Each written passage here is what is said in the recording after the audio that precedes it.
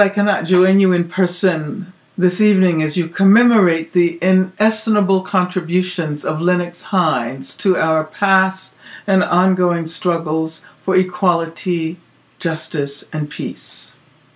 But as I celebrate from afar, I know that I am only one of countless people around the world who have literally been rescued and whose lives have been transformed by Lennox's brilliant work as an attorney and legal scholar, and of course by his unswerving commitment to the quest for social justice.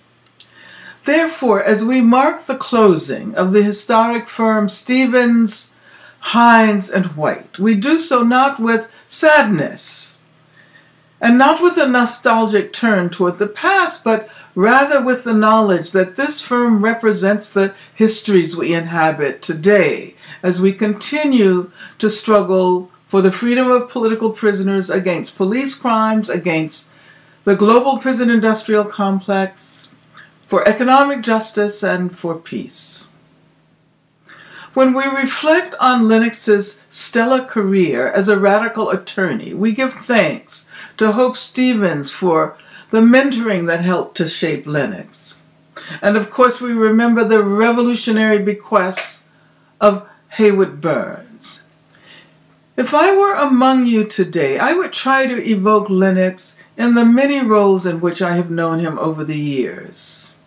First, as my attorney representing NCBL, who helped to lay the foundation that led to a legal victory in my case in 1972. Then, as a co chairperson of the National Alliance Against Racist and Political Repression, who taught me immeasurable lessons about the relationship between the law and radical movements. As the author of Illusions of Justice, who insisted on the internationalization of our struggles against racism. As Nelson Mandela's attorney, who led us to apprehend how deeply affected we were by the transformation of South Africa. And as Assata Shakur's attorney, who is never willing to give up. But this is just the beginning of a story that has too many more elements to enumerate them here.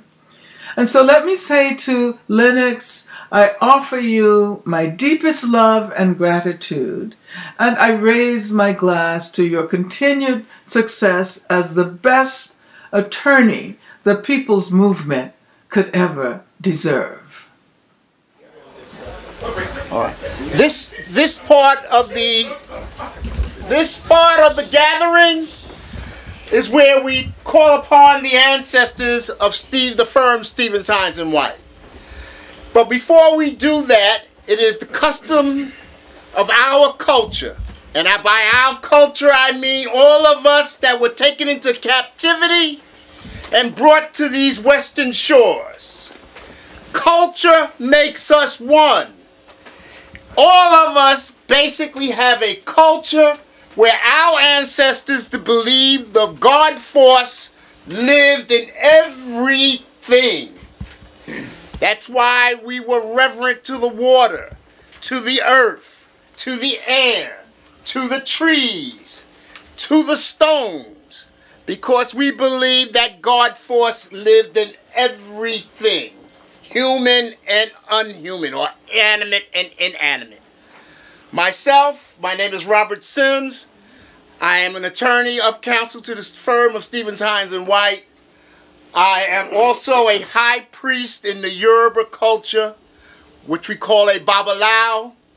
I was initiated in the ancient city of Benin City in Edo State of Nigeria. This is my colleague, Baba Uriel. He was initiated in Oyo which is another village in Nigeria.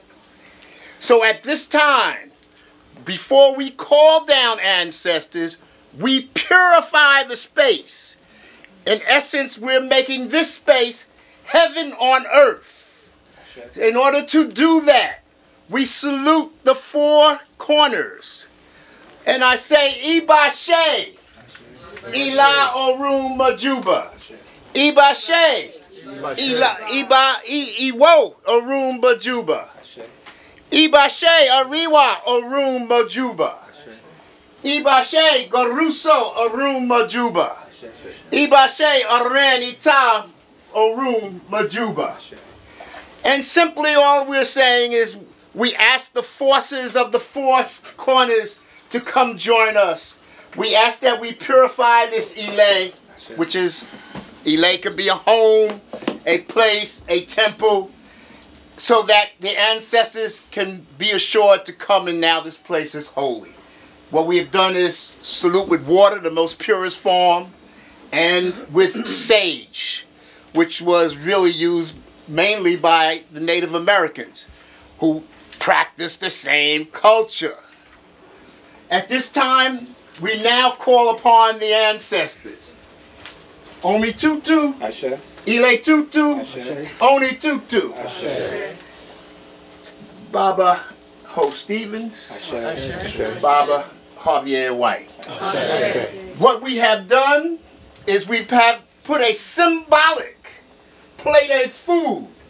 It represents everything that you have eaten and everything that they will now eat. All right? Technically, it is we share our food with the ancestors. That's a ritual that all of us who practice this culture, and we practice this culture because we believe that in order to know where we're going, we have to know where we came from. It's no accident that our captives took our language from us, our names from us, and our culture from us. Because there's power in our culture. And as soon as all of us start adapting our culture, whether we think we're from the Bantu of Angola or the Fon of Dahomey, who are now residing in Haiti, or the Yoruba, who are mainly residing everywhere among us, because even though most of us were brought to Cuba, and we say God bless Cuba, because most of the captives were brought to Cuba, and that's where the culture remained strong. And the forces knew what they were doing because they brought all that energy to Cuba.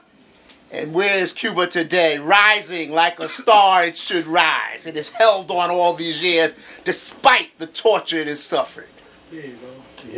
And they're probably going to lead our way out of this wretchedness that we're in as a people today. Um, so, There are other aspects of what you see of this altar that we have made. Everybody hear me? Yes.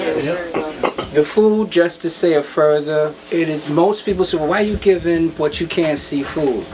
The they are not eating the actual material. You know that the food represents ashe or energy, energy to energy, and recognition of that which they represent to us, and in recognition of what they also know, they need the ashe of sustenance, not the material but the actual composition that makes the material. That before you actually see a manifestation in the physical. We give light to them because light always represents the highest ashe that we all aspire to become. A star, star consciousness, the collective consciousness of the universe.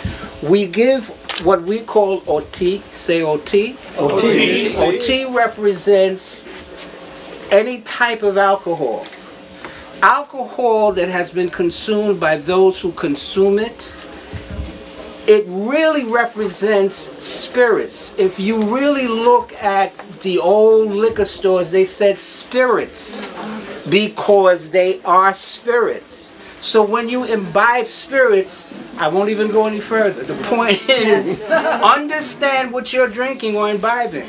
But we give spirit to spirit again for the necessity of enriching the ashe that they represent. So on this table, we have we have put this offering as a tribute to those who have passed on.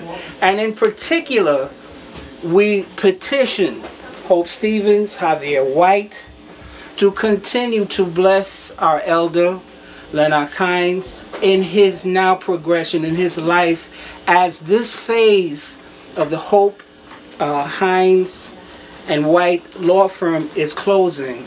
May they also be a renewal of rebirth mm-hmm. where their guidance to our elder will continue. Everyone say Ashe. Ashe.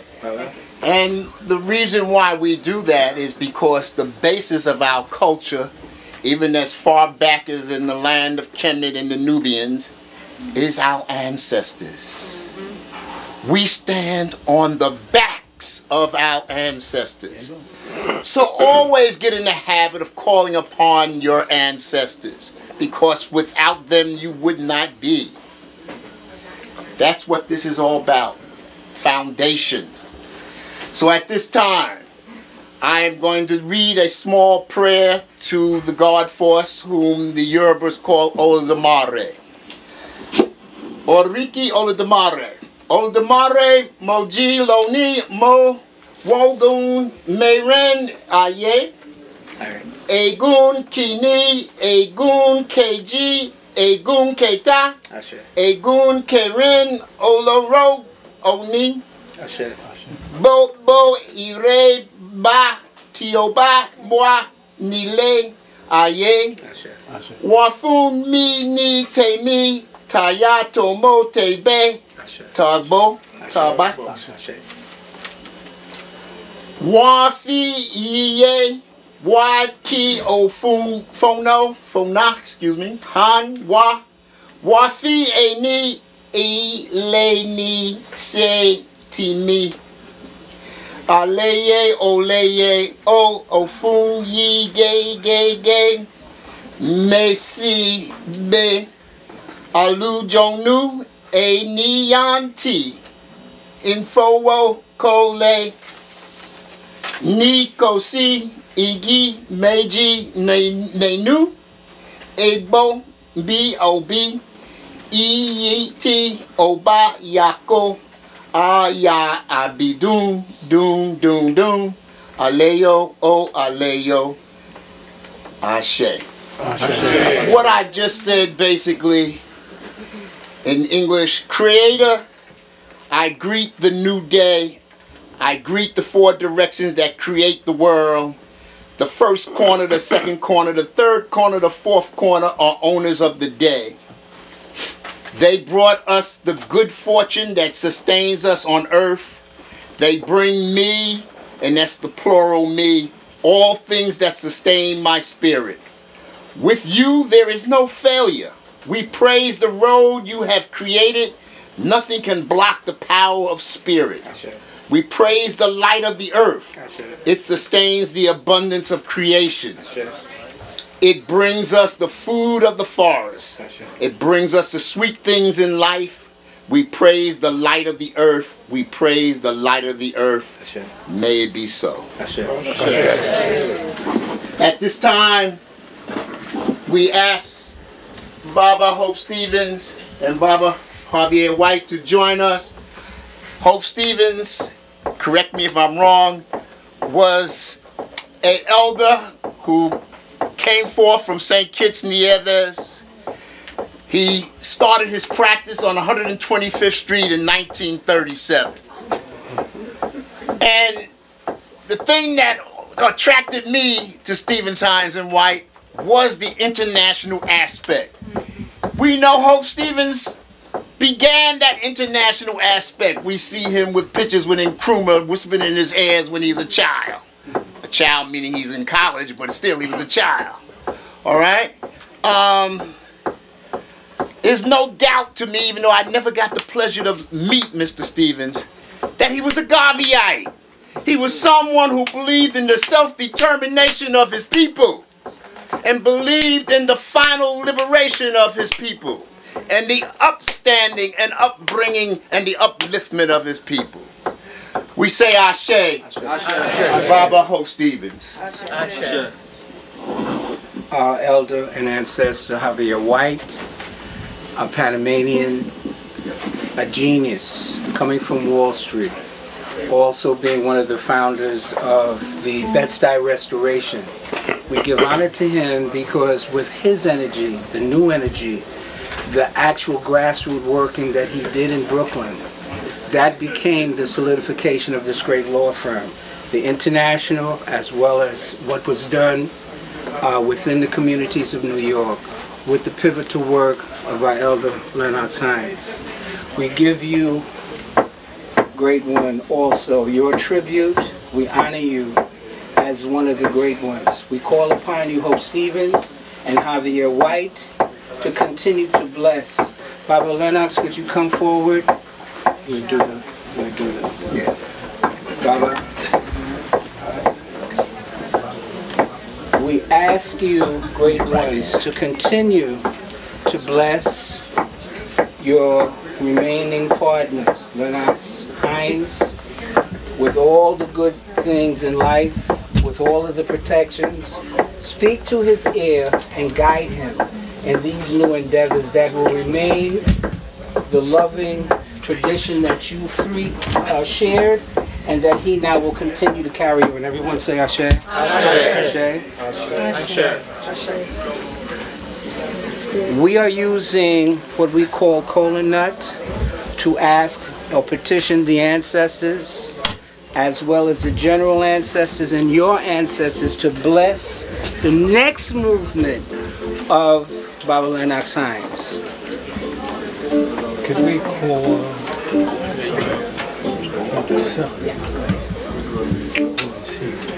Anthony Stevens? Yes. Anthony Stevens come forward and Anthony Stevens, come forward, please. Son of Hope Stevens, please come forward. Anthony Stevens.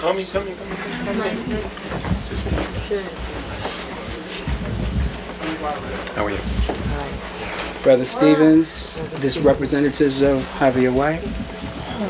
Glad to meet you. We have called the ancestors those who are represented by you physically. We have asked them and we are asking you to bless these movements forward that are, uh, that are being done. We also give honor to them through you because you're here. And the work that your family has done, we give tribute to. My little sister, so much history that you have. May you be blessed. Ashe. Let's do a symbolic eating. Do a symbolic eating. The cola nut that has been passed has come up Alafia. Alafia and Iba, what we call um, Ijiagbe. Ejiogbe. Ejiogbe. Go ahead, Bob. Ijiagbe, which represents a new beginning and a positive beginning. This is one of the strongest signs we could get. And I ask you to eat because it represents money. So everyone that is represented here, your ancestors, do the ritual and the symbol ritual of eating. Because that blessing is for everyone here. Take this for later on. Yes. We thank you. We thank those who are representing Hope Stevens, those who are representing Javier White. May you all continue to be blessed by your ancestors. Ashe. Evening, comrades, friends. Too many lawyers are about making money. Stevens, Hinds and White has always been about making a difference. When Hope, Lennox and Javier invited me to join the firm in 1982, I didn't hesitate for a minute. As one of the very few to have had the privilege of working with all three of these giants, I want to pay tribute to their commitment to this community and to people everywhere struggling against racism, oppression, and all forms of discrimination. Hope, Javier, and Lennox all inspired me from the time I first met them when their 125th Street office doubled as the election headquarters for the great cut 'em loose judge Bruce Wright. Hope, the master legal stylist, whose prose was as elegant as the man, taught me the importance of clear writing and filing briefs that put the white shoe law firms to shame. Javier, who quit Wall Street to work first in Bed-Stuy, then in Harlem, taught me the importance of lawyers being there where the lawyer, where the people really need them. and Lennox, What can I say? You've all heard Lennox say, let me share this with you. It might be sharing his strategic legal thinking on a civil rights case, his insights into the prospects for progressive political activism in the US, his analysis of the international situation. If you're really lucky, it might be sharing his pigeon peas and rice. Lennox is all about sharing. In more than 35 years, we've shared a lot together. In 79, we shared work on US political prisoners under COINTELPRO, highlighted in his book Illusions of Justice, currently on sale by Amazons for, for 999 US dollars. In 1980 to 81, we shared together with a nationwide team coordinating the first ever all US anti apartheid conference, which the ANC and SWAPO had the foresight to ask Lennox to chair.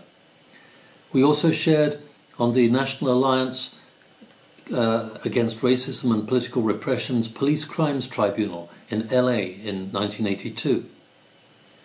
Stevens Hinds and White has been the professional launching pad for countless lawyer activists, a focal point for progressive community initiatives like the Free Mumia Tribunal, and a base for international campaigns like the Lawyers' Campaign to release Nelson Mandela and Toivo ya Toivo. Talking about sharing, in 1990, Lennox and I were among the international guests at the ANC's conference in Durban, their first inside South Africa in 30 years. Money was tight for us, as always, so we shared a room. In those early months after Mandela's release from jail, when white South Africans suddenly saw people of colour as guests in hotels rather than as servants, our presence together must have been a bit startling. Not only that, there was only one bed in our room. As I say, Lennox is all about sharing. Lennox has been a lifelong institution builder. As he always says, be clear where your base is, always protect your base. Anyone to whom Lennox has said, Don't worry, man, I got your back, knows the comfort and strength we have all drawn from those words. When you're fighting for clients and causes targeted by the government, Angela Davis, Assata Shakur, the New York Eight, you need someone like Lennox at your back. NCBL, IADL, the, the NAARPR, these are just some of the bases he has built and strengthened to protect those in struggle. Anyone who's watched Lennox in the courtroom or lecture hall has witnessed a masterclass in communication. The word charisma is overused, but Lennox truly has it. As a friend once said to me, What is it about Lennox? In a room full of people who all have their back to the door, Lennox walks in and everyone turns round. Madiba and Fidel, Assata and Angela have all taken counsel from Lennox. Many institutions he has nurtured and built remain active and strong, like Lennox himself. It's natural to feel regret that the institution of Stevens, Hinds and White is closing its doors, but its ethos continues. Today, more lawyers than ever before are out there, determined to make a difference. Many of them have served time in this venerable institution. Our struggle continues. So, Lennox, my comrade, let me share this with you. Thank you for sharing decades of your friendship. Thank you for your inspiration that is with me each day. Thank you for your unwavering courage in adversity. Thank you for your leadership by example. Thank you for your sharing with me a world of genius and talent and strength I could never have discovered on my own. Come what may, Lennox, I got your back. Thank you. Friends, it's uh, it's an honor to have uh, Congressman Charlie Rangel here with us today. Charlie. Let me say, I am going to a funeral. Bishop uh, Barna uh, is an old friend. He passed away. And uh, Refuge Church is uh, part of Harlem. Mm-hmm. But so is Lennox. And uh, I, I, feel an obligation to, uh, at my age especially, to try to thank everybody that's made my life, my family, my community, and indeed my country that is so far away from justice. But uh, when we do have people like Lennox that you know, that it's not just his knowledge and compassion, but it's an understanding that you can't give up, you can't give out, you can't give in. Uh, we take people like him and icons like him uh, for granted, I do. Uh, but to hear that whatever he's up to, I don't know. He mumbled something about retirement, and I looked at him, uh, and I'm 85, and I see someone saying they retire, and I know them at nursing homes or something like that. But I know with his energy, his smile, his personality, the work he has done, the work he has to complete, all I can say is that you'll never give up, and our community is so indebted. And what makes it so important that a, a public official like me show up is because there's so many people that don't know what he's done for them. And I represent them, and uh, they may not even know what he's done for them. And so on behalf of all of the people, that those of us that were here, uh, to thank you for your friendship and your contribution, we thank you for all those people out there that you've helped over the many, many, many years. You're the greatest. Thank you, John. Thank you very much. So, Bishop uh, Bonner, you know, it's another spinning story. He came from Bishop Lawson. These ministers, they don't have to pass any bar. They just call upstairs and become a bishop, you know. But I knew Bishop Lawson from 133rd Street. And clergymen today aren't just praying for praying for the future. They're building schools and housing and getting involved, and so I got to go there and tell him I'm gonna miss him, even though he won't hear me. But when I get up there, I'm gonna reorganize the whole place. so anyway, thank you for giving me this opportunity. You're looking absolutely great, as you know, and continued success. Thank you, Charlie. Okay, take care, gang. Greetings, all. My name is Deborah A. Jackson, and I am the mayor of Lithonia, Georgia. It is such a great occasion to speak with you this evening. I regret that I am not there in person, but I did not want to miss this opportunity to congratulate my friend and mentor, Lennox Hinds, for the tremendous work he has done in the community over these many years. I remember as a law student at Rutgers, beginning to volunteer at the National Conference of Black Lawyers when he was the national director. And because of my interest in international affairs, I had signed up to work there during the summer and had the tremendous opportunity to be exposed to what was the beginning of a fantastic experience that still continues to this day. The community has really benefited by the services that have provided by Lennox Hinds and his partners. I was blessed to have the opportunity after returning from my stint in Mississippi to be a partner in the law firm of Stevens Hinds Jackson and White. And so today I say congratulations on the work that you have done. I look forward to seeing you evolve in new arenas and look forward to an opportunity to continuing to work with you. All the best to everyone that's there. And again, congratulations, Lennox. We really appreciate the work you have done. Hello, I'm Marissa Benton. I'm an attorney and I worked out of this office for a couple of years um, with the Sankofa Law Firm along with. I'm Muna Mimi Ghirmay.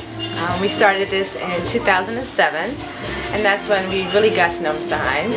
Yes. Um, we worked with him on civil rights projects, family law projects, um, learned um, so much from working with him. Admire, we admire him um, tremendously. Uh, it's been challenging at times. Um, Mr. Hinds is a very interesting guy, very straightforward, very Yes. blunt. Yes. Um, but all that comes from the heart. You know, he, he wants us to be better. So the harder he is, the harder we work.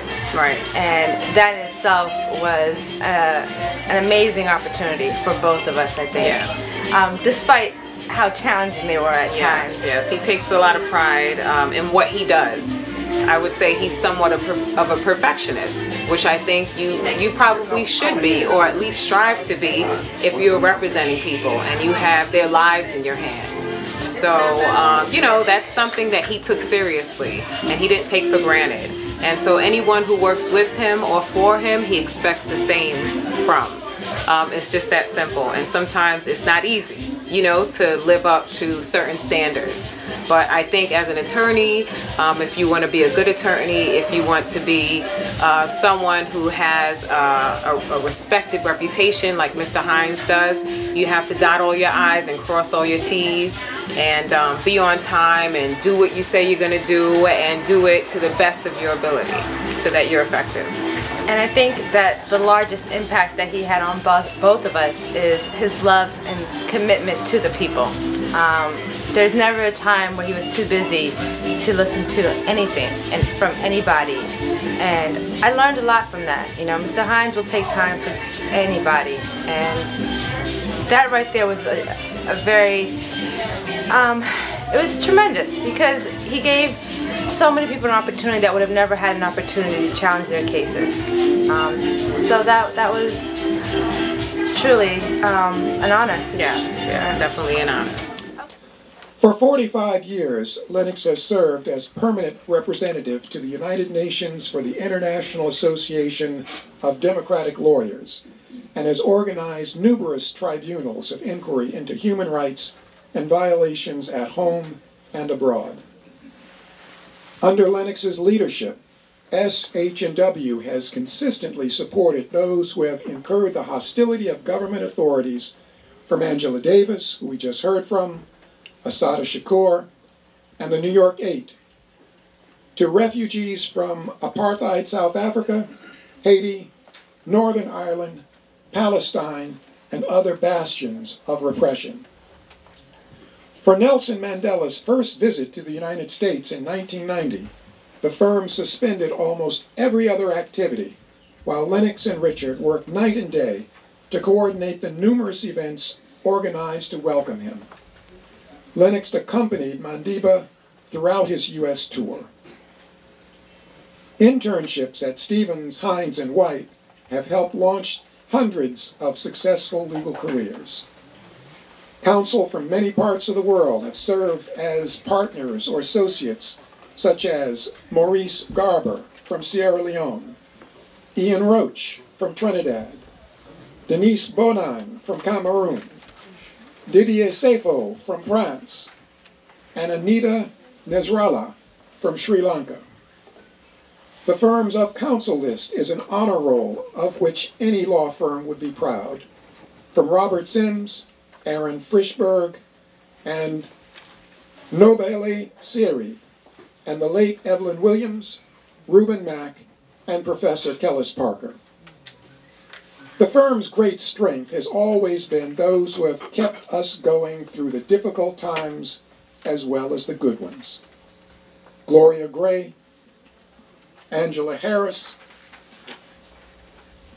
Clarita Wheeler, Felicia Lewis, Jacqueline Sams, Suzanne Toussaint, Shane Haynes, and many, many others who have been our heart and soul down through the years from 125th Street to 111th Street.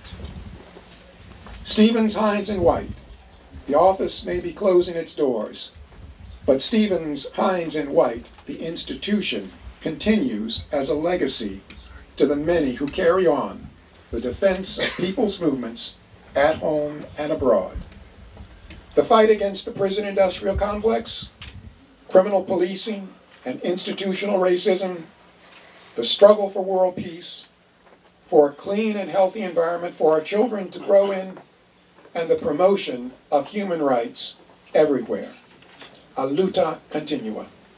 I'm Judy Bourne of Brooklyn, New York, and of St. Thomas in the U.S. Virgin Islands. Lennox Hinds and Stephen Hinds and White have always been a part of my 40 year legal career. I met Lennox when I was in NYU Law School, and we were founding one of the first black law student chapters, Law Student Association chapters there. That's when I first became associated with the National Conference of Black Lawyers. Several years later, from 1976 to 1979, I had the honor to uh, co-chair NCBL with Hope Stevens, which was quite an experience.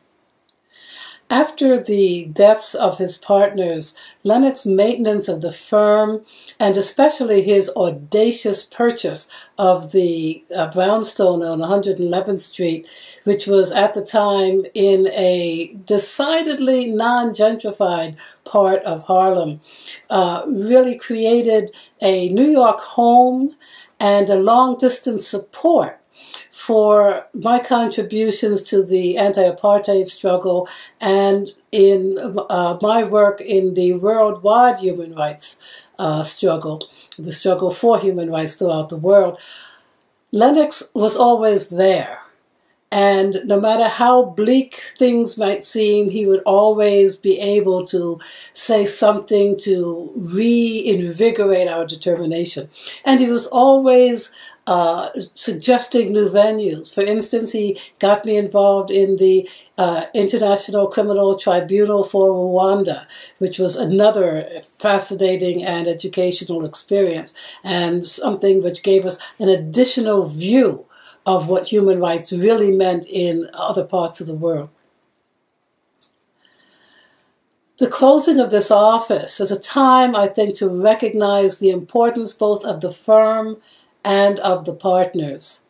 They are truly examples of how to live an active, wise, and principled life as a lawyer for human rights both at home and abroad throughout the world.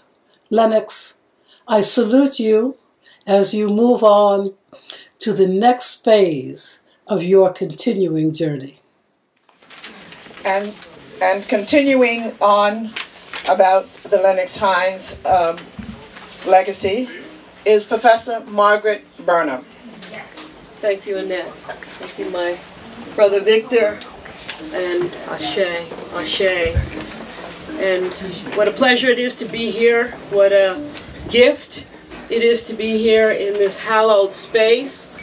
It strikes me that rather than moving on, that this building ought to be a museum. uh, and that uh, those of you who are New Yorkers, I used to count myself as one, but now I don't, ought to persuade your leaders to make this a museum honoring the history and tradition of the black struggle for justice on the legal front in the United States of America.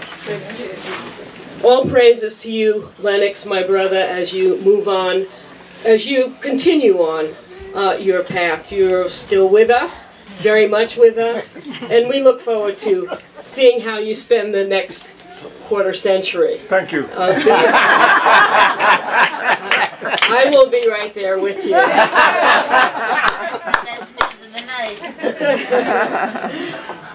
God willing.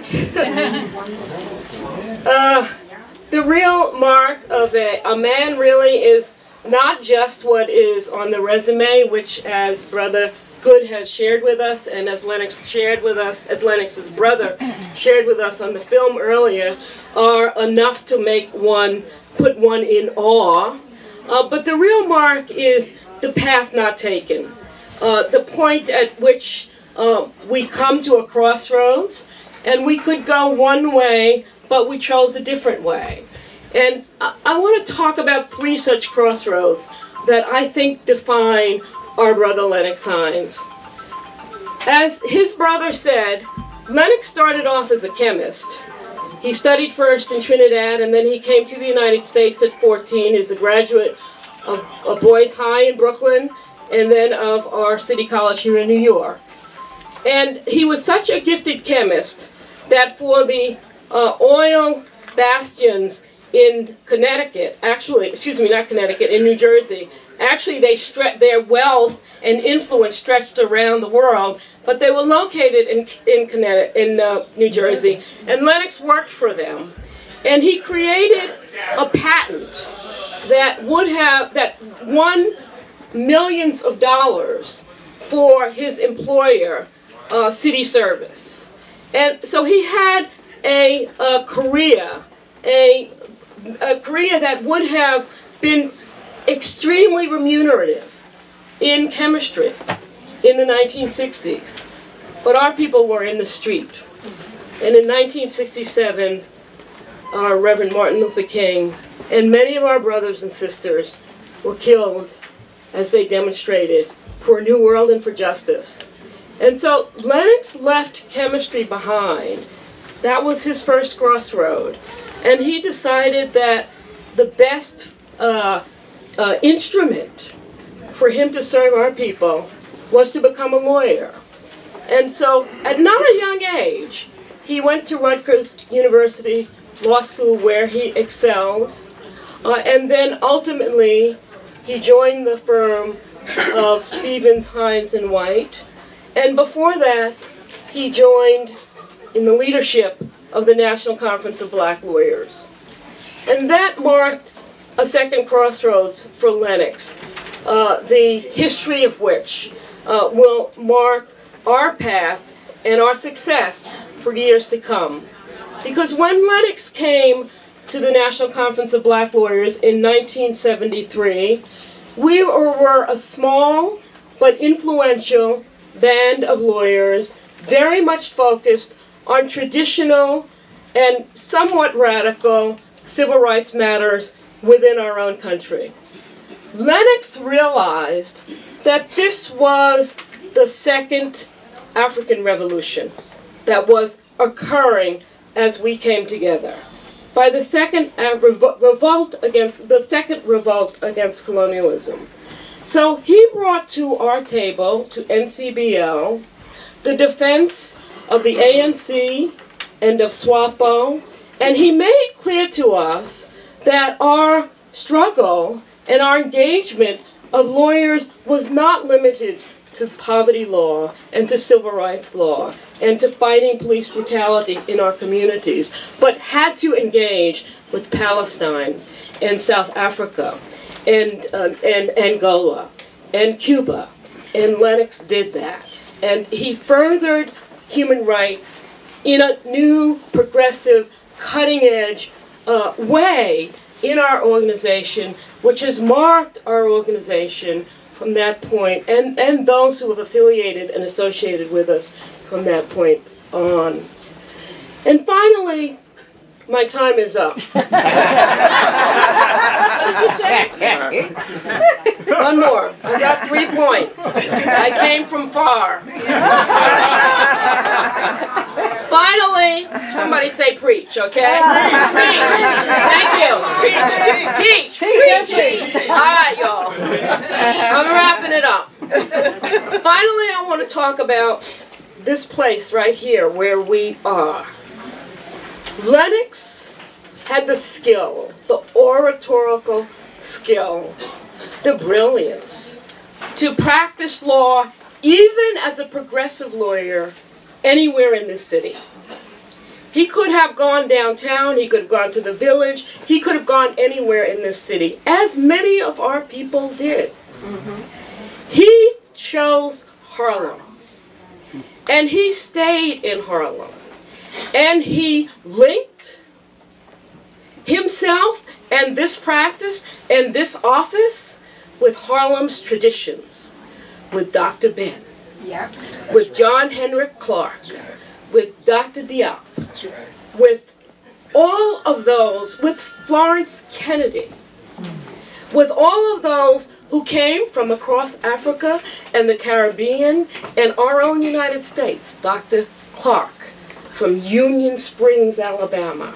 All of those who came and claimed that there was a place in Harlem's traditions, in the in the tradition of black uh, people across the world, for a law firm that was that, that represented that, that spoke for that, and that furthered that agenda.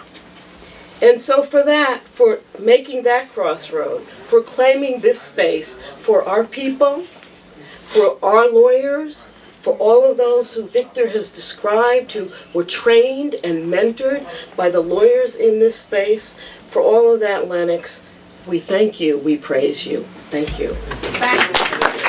Vamos. Lennon, we are here, your dear friend, Dr. Raudilio, that you know very well for many, many years, Ferriol, that now is the president of the Cuban Lawyer Association, and you know because uh, you know very well. Lo recordamos mucho. And me, Doris, that we are meeting here to say you hello, to congratulate you for your work of human rights on the world. Okay. ¿Algo más? Ok, gracias. Hello, Uncle Lennox and family and friends out there. Uh, my name is Pat Hinds Bankole, and I'm one of the wonderful nieces of Lennox Hinds. And I have my husband here, Adisa Bankole, and we are here today to congratulate you, Uncle Lennox, for all the hard work that you've done to com- combat injustice, injustices all around the world and um, uh, in our country and all around the world. So we want to say congratulations for all your years of hard work and uh, fighting for injustice and getting justice done where it needs to get done. Uh, so we are going to do a poem that Adisa wrote for this wonderful special occasion. And so, Adisa, why don't you start? Lennox, this is for you. The legal warrior, a foot soldier for justice. You don't ever waver from the social injustice fight. Using your talent, skills, and heart, you do what is right. Never giving in, you keep marching, fighting for equality. With determination and a warrior spirit, you fight legally keeping your eyes on the prize, trying to right the wrong. Like a warrior, you fight, you face each battle, being proud and strong. There are many who are grateful for your counsel, your son. These are the cases you can take pride of, fought them and won. Like all things in life, a warrior must step aside and take rest. Your knowledge, your tutelage will go to others to pass the test. Time for you to feel the summer breeze and enjoy your peace, knowing that your spirit yearns to fight until justice is reached. Bye bye. We love you. Have fun. Next, we'll hear from uh, Jeanne Mirer, uh, who is the president of the International Association of Democratic Lawyers and former chairperson, International Committee of the National Lawyers Guild. Thank you, Victor. My God, how many years? Quite a few. Yeah, quite a few. I'm, re- I'm going to read uh, to you a tribute that was written by our Bureau of IADL, and it's, it says, IADL pays tributes to Lennox Hinds. There you are. The International Association of Democratic Lawyers wants to take this opportunity to record our friendship and gratitude to Lennox Hinds for all of his contributions to the survival and flourishing of our beloved organization. At our Cape Town Congress in 1996, Nelson Mandela paid tribute to the work of IADL as a leading organization which had successfully fought, of course with Lennox help, to have apartheid declared a crime against humanity. Mandela said that without such a strong organization, the fight for freedom would have been that much harder, and that he would have had to go out and create an organization like IADL if it had not existed. But it was not a foregone conclusion that IADL would survive after the end of the Cold War. Lennox Hinds' leadership and commitment to the organization ensured our survival. He threw himself into organizational work. He worked at the United Nations in New York. He traveled the world. He published papers on the way forward for IADL. He helped the IADL revitalize its work through directing it to the hopes and freedoms, the hopes of the freedom struggle in South Africa. He organized large delegations to monitor the 1994 South African elections. He remained an advisor to many key people in the government. Thanks to his work, IADL held its 14th Congress in Cape Town in 1996. The success of that Congress was a turning point for IADL and in large measure thanks to Lennox. Although in the most recent past, Lennox has probably spent more time in Arusha than in New York and has not been able to attend many IADL Bureau meetings as before, he remains, and will never let you stop, being our permanent representative to the United Nations in, in New York. And for this, we are grateful. This tribute to Lennox Hinds clearly does not mean an end to his participation in the progressive struggles of people around the world or IDL. Just last week, he agreed to attend a conference in Algiers to address the crimes against the Palestinian people. We are sure in the future he will remain a major force in IADL. Thank you, Lennox. Greetings, Lennox, my friend. We've known each other since about 1969 when you, Ed Spencer, Kwame McDonald, and a group of other folks came up to see me in Jamesburg, New Jersey to recruit me to be the assistant director of the Urban League of uh, New Brunswick. I met you and your family, I met you and your friends from the Somerset Community Action Program. We've been friends ever since. Lennox, congratulations on your move. Whatever direction you're going in, I wish you the best and success. You've represented me, my family, my mother, my friend Charlotte Sistron. Uh, everybody sends you greetings, Cleve Fote. Everybody sends you greetings and happiness and well wishes. Lennox, um, we've known each other through the struggles of the 60s and the 70s. We've known each other through uh, all times of endeavors, all types of endeavors. Betty Hodges is a good friend of ours. Several other people are good friends of ours, and we all send you love and best wishes and well wishes. Take care. Charlotte Sistron says hi. And uh, Charles Gray is my name, as you are aware. Uh, I love you, brother. God bless you, and we'll talk soon. We'd now like to hear from Professor Anthony Stevens Acevedo, Assistant Director and founding member of the Dominican Studies Institute of the City University of New York at the City College of New York, and the son of Hope Stevens.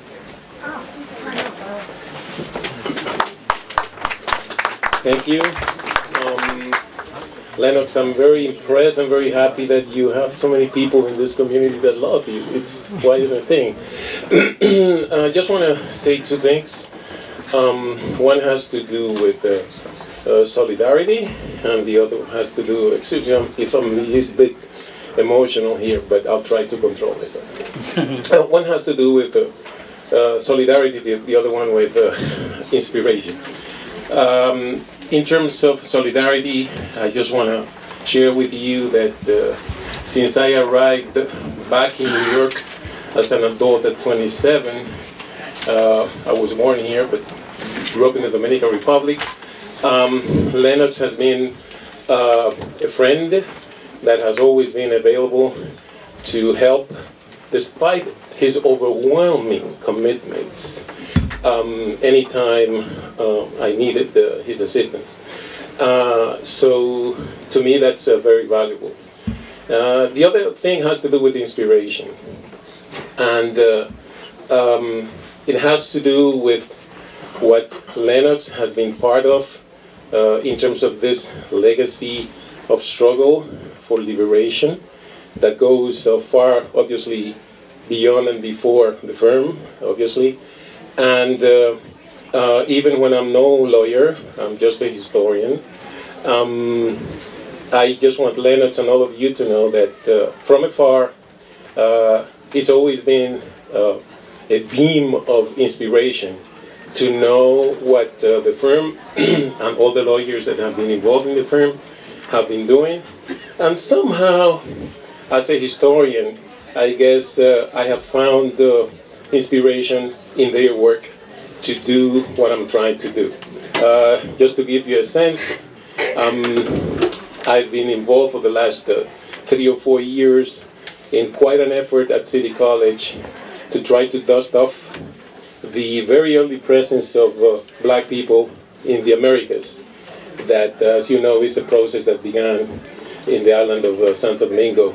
And uh, hopefully, within a year or so, we'll have uh, something to present to the public um, in terms of uh, the earliest documents that show the struggles, the fighting, the resistance, and the achievement, especially the survival of uh, black people in this continent. So I'm very happy to be here. Congratulations, uh, Lennox. I wish you the best. So my dear brother Lennox, this I'm sure is a surprise to you. I'm not I wasn't going to be here when you have this special day, but I um, decided with Pat and the Adisa Progamy to do this. And I'm very happy I did, even though I'm not going to be here. I would have liked to be here. But I just wanted to know that you have always been there for your family. Always put family first. That's what you always said. And you have always been there. No matter what, we can come to you, and you would always give us a hearing. Um, also, besides your family, you have also dedicated your your life to your to people, to humanity, to the voiceless, to the oppressed. And um, you used a phrase one time when I uh, had gone to an award that was given to you about three years ago at the Hil- at the Holiday Inn, I think at the Hilton. And uh, you use a phrase where you says that you do not swim downstream. You always go upstream against the current. And that has always stayed with me because that if you can if you do that in your life, you will never be one way. You'll always have your own mind and you will always follow your mind. And I think it's a great thing. So that has never left me, and I think it's something that I have, uh, well, I have put it in my everyday life. Also, um, your brother-in-law John Alow, well, he's sorry he couldn't be here, but John sends his blessings, and, and he is a very proud person of you. He's your best fan, as you very well know, your biggest fan. And so he wants to wish you the best. As well as both of us, we're wishing you and your loving wife, Bess, the best for this new journey that you're on. And with God's blessings, we are wishing you health, happiness, and much blessings. We all love you and the best to both of you. Speaker coming up next, whom I have the pleasure of, of introducing, Miss Renee Minus White, wife of former partner Javier White, journalist for the Amsterdam News and licensed real estate broker for Douglas Elliman. Mrs. White. Thank you. How are you? Um, thank you. Thank you. For inviting me, Mr. Lennox Hinds. I mean, these guys have been by my side, you know, even though my husband has not been here.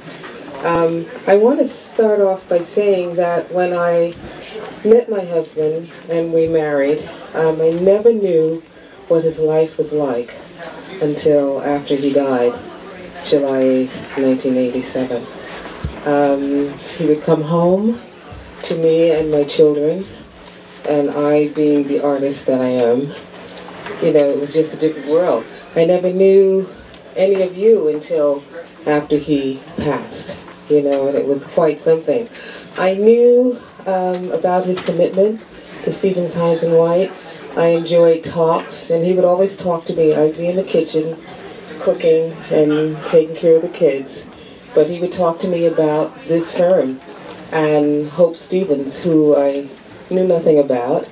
Um, Lennox Hinds, I knew nothing about. And he'd call me one day, you know, I like these guys, and I really want to be with them, and they're doing something important. You know, I think I was like his sounding board.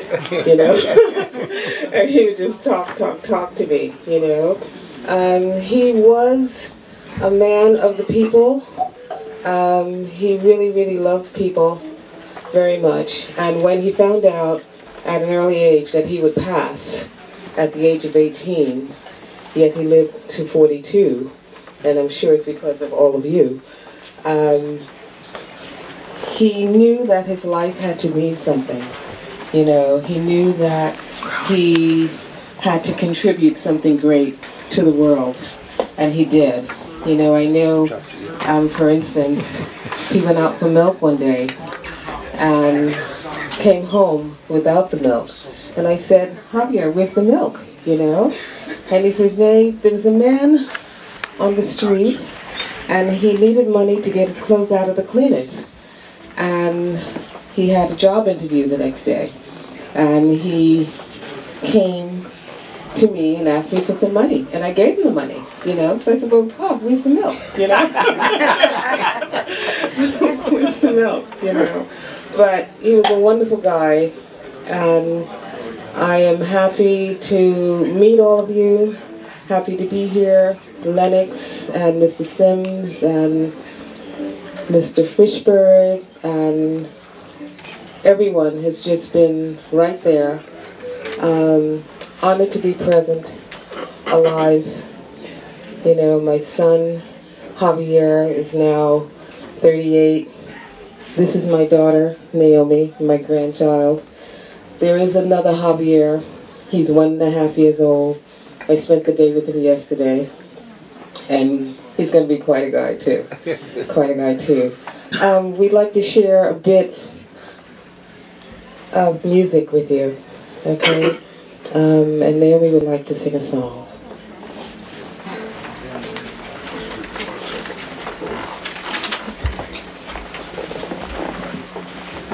Bright morning, stars are rising. Bright morning, stars are rising. Bright morning, stars are rising.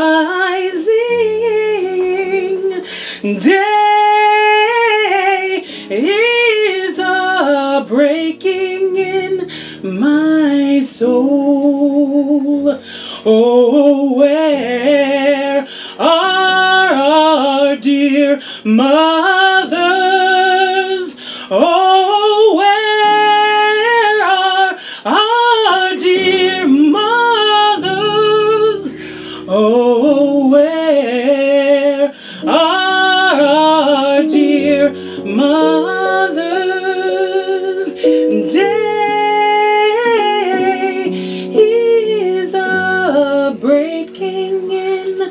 my soul. Bright morning stars are rising. Bright morning stars are rising. Bright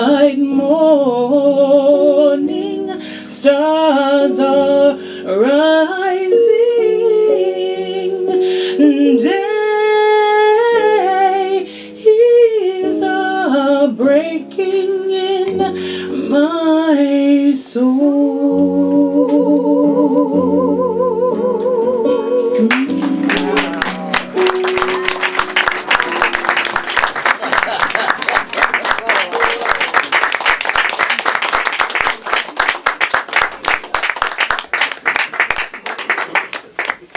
And for those of you who don't know, I am one of the original Chantels. Oh, say, you gotta tell us that. Tell us that. And my husband Javier didn't know the significance of that. He never saw us sing, and we never really got ourselves back together until after he died. Because while he was alive, I was just Mrs. Javier White. Thank you. Good afternoon.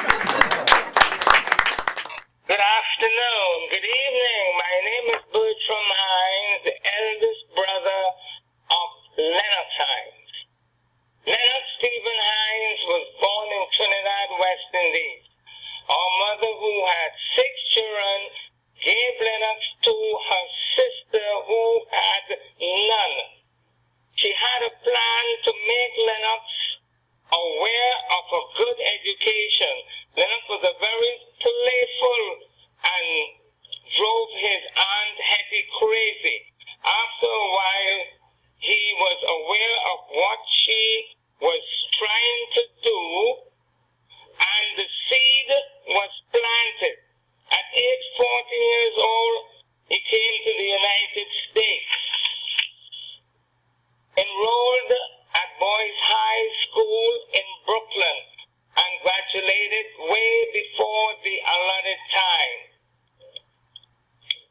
He then attended New York City Community College and got a bachelor degree in analytical chemistry.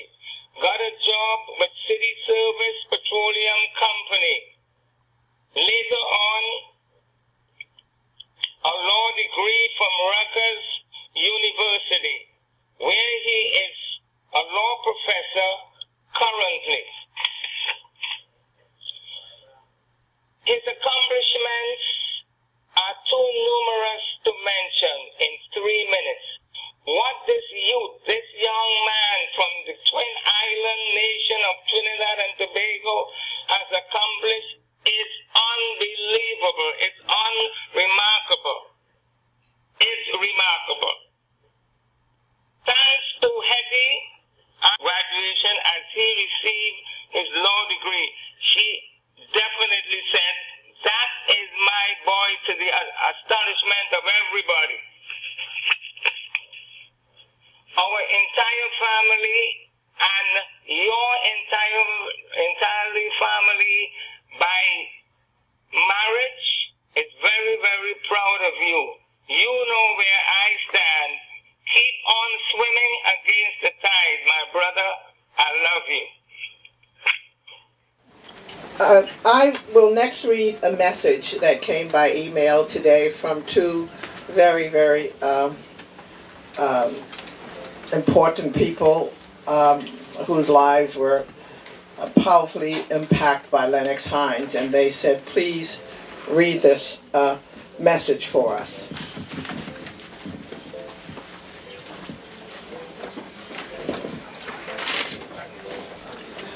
These individuals are Sheila Abdus-Salaam, Associate Judge of the Court of Appeal, State of New York, Fern Fisher, Deputy Chief Administrative Judge for the New York City Courts.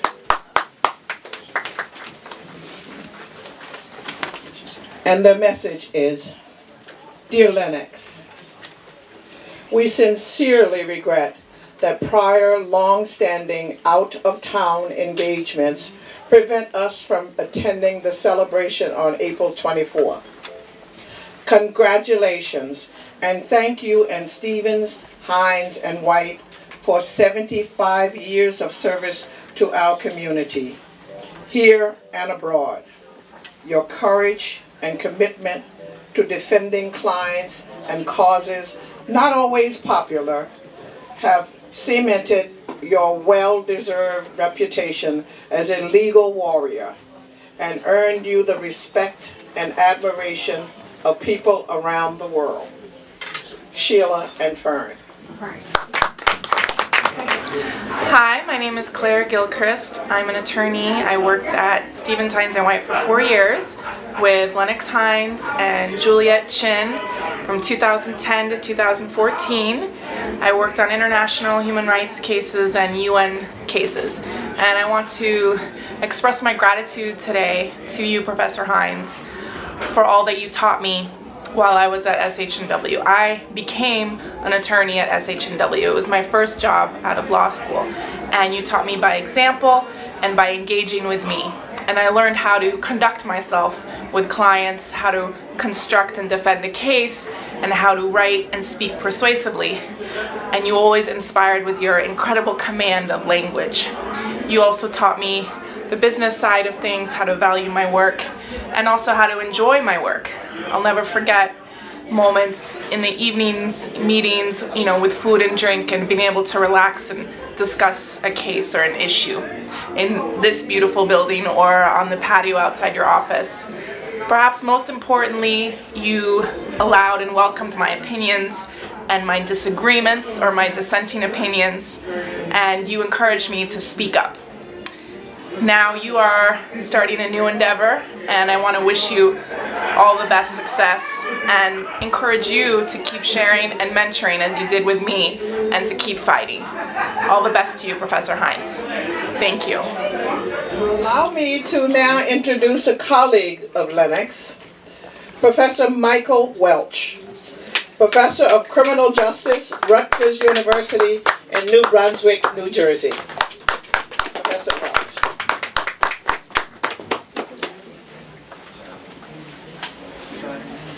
We have a slight, slight presentation. Do you want a microphone? Yeah, I'll work the uh, they'll work the room and, and the overflow room as well, right?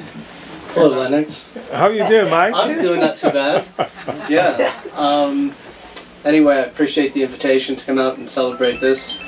Lennox and I have been together for a long time. I bet longer than you actually realize. Almost half my life. You're kidding? I am not kidding. Um, 23 years ago.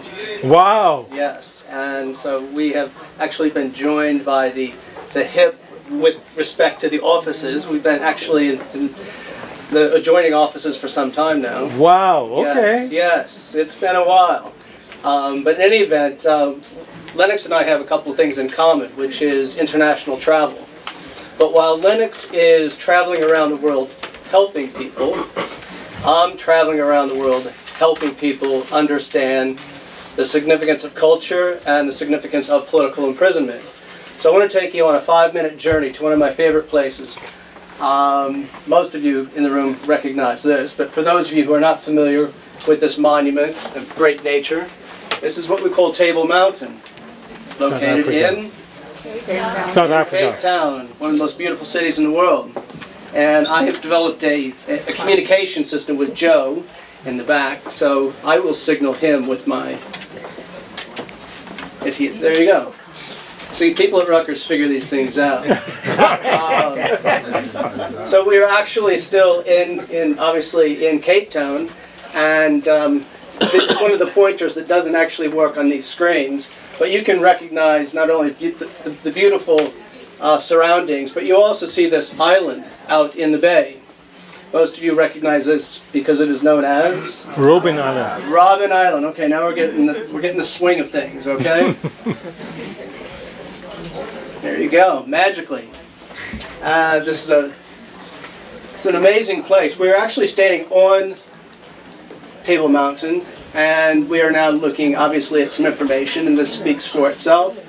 Uh, the significant significance of Robben Island goes beyond ANC and Nelson Mandela to even more uh, older forms of incarceration, of political imprisonment. We find ourselves on Robben Island, and if you've toured Robben Island, it's one of the most amazing places, uh, especially if you're a sociologist like me who really pays close attention to detail. One of the first things you'll do once you're on Robben Island is you'll board a bus. And everything that uh, the people have been through in South Africa, they have not lost their sense of humor. So this bus in particular is driven by freedom. and the tour bus brings us around the various sites of Robben Island. And one of the places we visit is this is the quarry. Quarry, right. This is where the political prisoners and Madiba spent their days working in lime. And again, the sense of humor at Robben Island. You have your choice. You want to go to prison or the Penguin Boardwalk? I would I would choose the Penguins, trust me. But for purpose of of today's presentation, we're going to spend a moment in the maximum security prison, where you're accompanied by a former political prisoner. This is my guide, Sipho, who was incarcerated between 1984 and 1989, member of ANC. As you can see, a pleasant man. And he's going to take us around the various sites, the watchtower.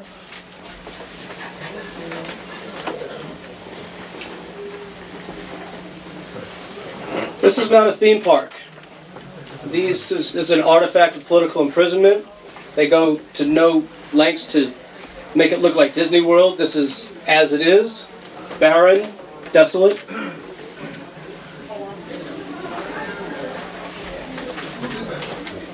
This is the prison cell of Madiba.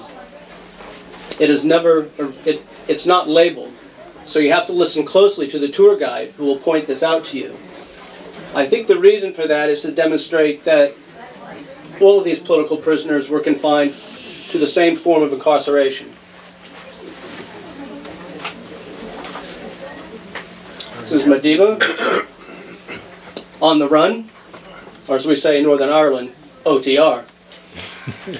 And this is what he looked like before he was captured.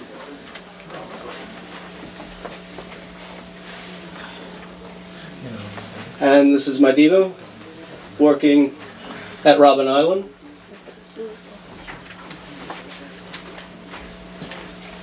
And the elder statesman.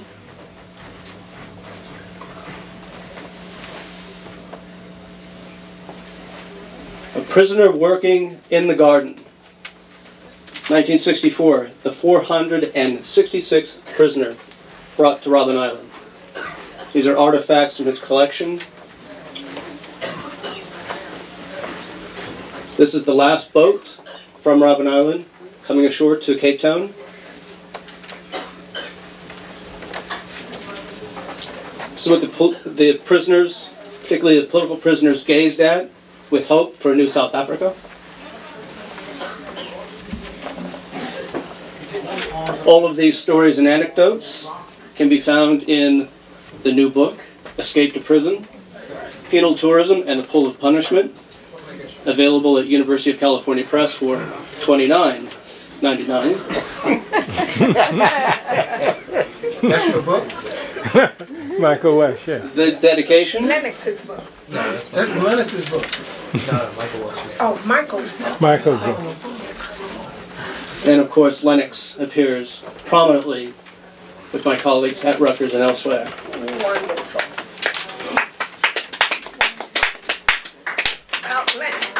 This speaks for itself. This is not taken from South Africa. As you can see, he is a friend of Ireland. This is a photograph I took in Belfast ah. last summer. For those of you who cannot see the caption, in my country, we go to prison first And then become president. and then become president. and I have a gift for Lennox.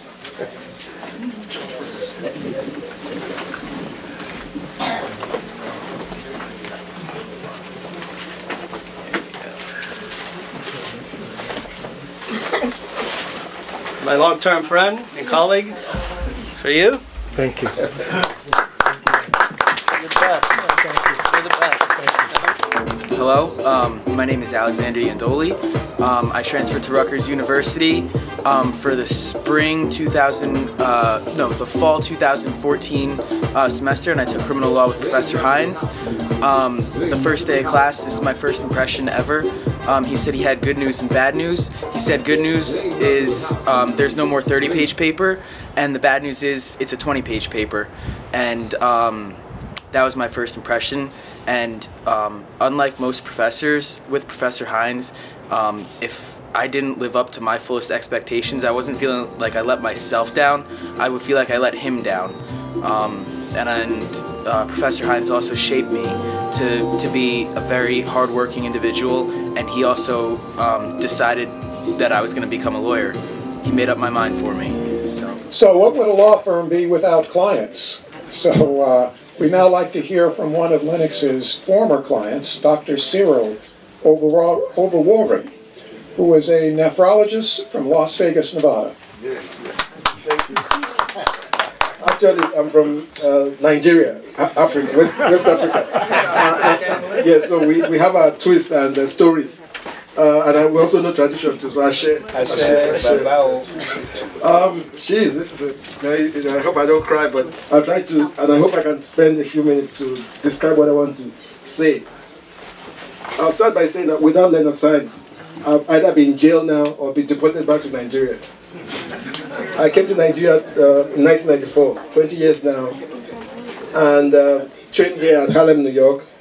Went to Johns Hopkins in Baltimore to do nephrology. I went to Harvard to do transplant nephrology. Then I, I moved to California, UCLA, as a clinical instructor. Then decided to go to Las Vegas, Nevada, the wild, wild west.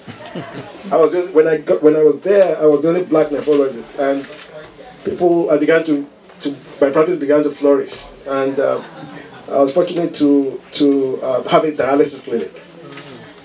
Uh, as soon as the dialysis clinic opened, I began to have all sorts of legal problems. So they accused me of fraud. They said I stole twenty million dollars. So, uh, and at the time, before I made like Lionel Hinds, I had exhausted everything. I'll explain to you. I flew to to uh, Manhattan to meet with Al Sharpton. And Al Sharpton, I tell him my story. He said, okay. She's, you know, we tell our black people to go to school and to become somebody. But when they become somebody, they try to get you down. Then I say, oh, she's going to help me. Then he said, okay, um, you know, you really have a point. You know, you, you should fight. You should fight. But, you know, I can't help you because you're just one Negro. You know, I can't call Oprah to say I have only one Negro. I need to have other people. So I said, okay, she's at least I tried. Then I went to the Congressional Black Caucus, caucus and explained to them, met with everyone, they still could not help me. Then finally, Dr. James Tate, who trained, is a Klingon, he trained at Howard University, said, you know, you need to um, call Professor Hinds. If he can't help you, nobody can help you. But I'm saying to him, you referred me to the other six attorneys in Las Vegas. I was paying them $20,000 every month, borrowing money to pay them, and they couldn't help me. So he says, just call him, he can't help you. you know, so I started to pray. I, I always pray. I called my mother in Africa, and she continued to pray. So when I actually, when he gave me the name, I checked, Googled his name, and said, oh, Professor Nahans, Mandela's attorney.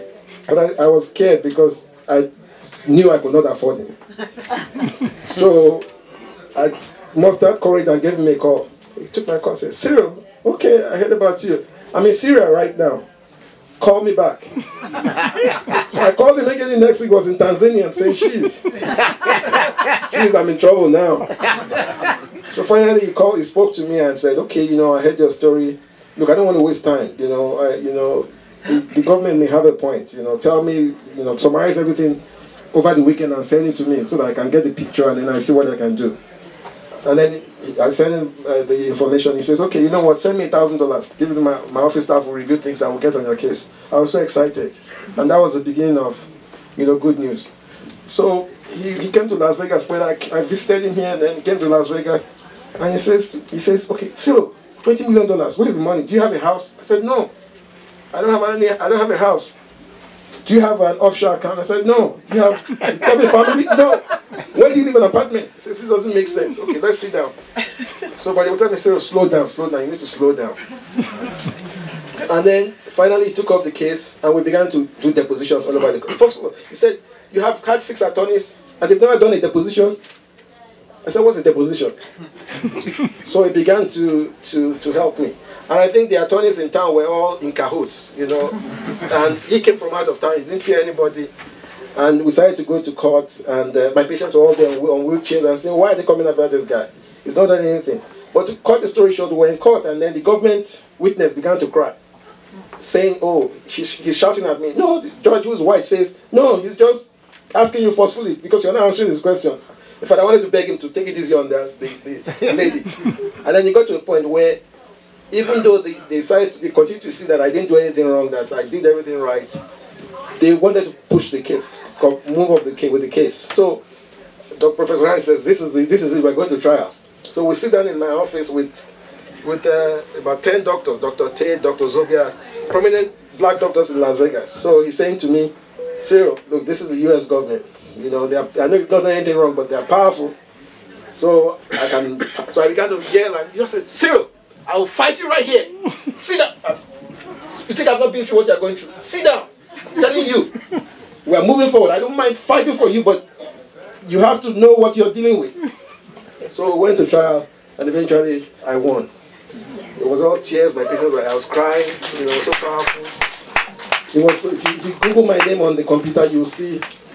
You know, and so I mean, it, it was very powerful. And all this this time, just I cut off. Fine, I stopped. I finished, completed paying him just a year or two ago. It was over time. Money was not the issue. Sure. So, if I hope that we have people like him to continue to help people. And I'm inspired. I'm honored to be here today because I'm fired up. And sometimes with my dialysis clinic, it's the only independent dialysis clinic in, in Las Vegas, Nevada. Sometimes you get tired with government snooping, and when I'm fired, I just have to continue to do the best. As long as my hands are clean, you know, I, I would uh, I would do okay. And you know what? Too, even till today, sometimes I call him and say, "Oh, Professor Hans, I'm tired." She's um, my wife. We're fighting. I said, "Sil, stay there." You think I've not been through what they're going through right now? Just be calm. So that's my story. So I'm really, really, I'm, just I hope here. So continue to be my inspiration and uh, thank God, thank God for Professor Hans. Yeah. Your boy. Hi, Ron Isaac from Washington, D.C. Been a member of the National Conference of Black Lawyers since 1975. That's where I first met Lennox way back years ago. He was my inspiration for joining NCB, NCBL, and he has been a, a mentor to me and many of us in NCBL throughout the years. We just came back from North Carolina last weekend where we had a meet and greet uh, in uh, as a prelude to our annual conference in, in Durham, North Carolina in October. And Lennox was gracious enough to travel down there and meet with uh, some of the legal staff from North Carolina Central University Law School and uh, interact with them in, in anticipation of our conference. So uh, he's been a stellar, uh, stalwart member of NCBL throughout the years, and uh, I hold him in great regard, and I know it's time for him to move on. I, I, I know he feels it's time to, to uh, relax a little bit, and he's, he deserves it, and much more. Uh, next, we'd like to hear from um Vanessa Ramos, who is the president of the Asociación Americana de Jurista, a member organization of the IADL.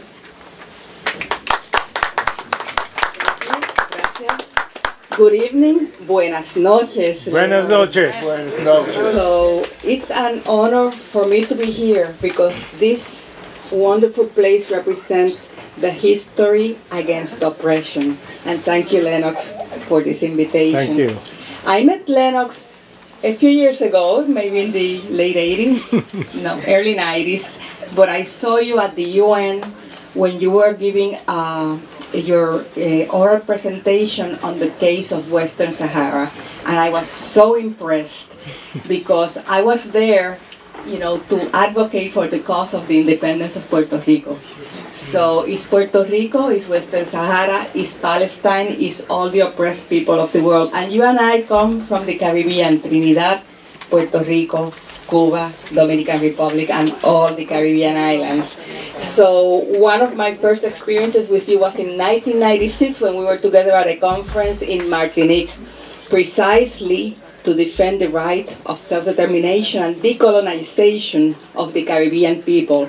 And then in the year 2000 that Asociación Americana de Juristas and IDDL did a joint conference in Cuba.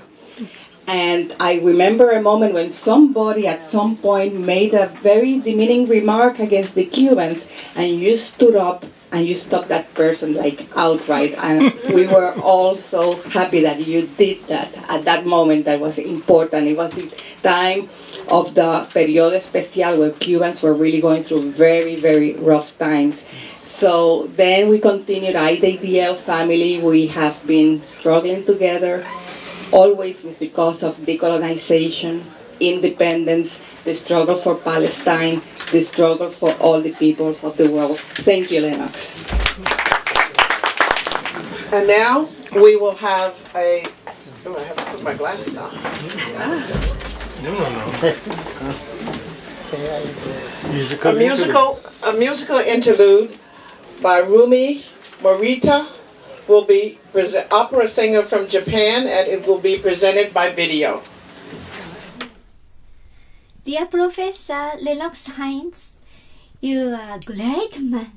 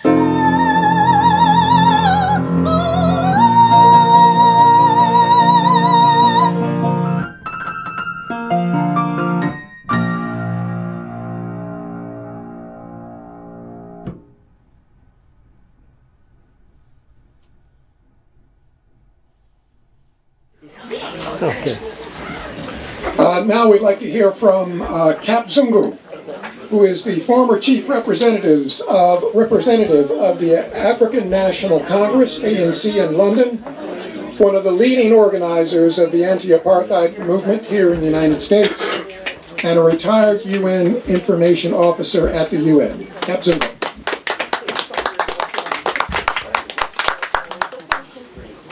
Good evening. Good evening. Good evening.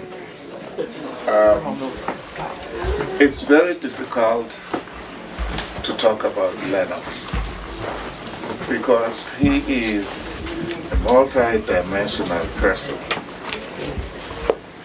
And I think over this evening you've heard, for example, um, his um, inventions for which he was awarded the U.S. patent. Um, it's a tongue twisting thing that is called spectrochemical analysis or something. Excuse me? Talking to the mic. Okay. Um,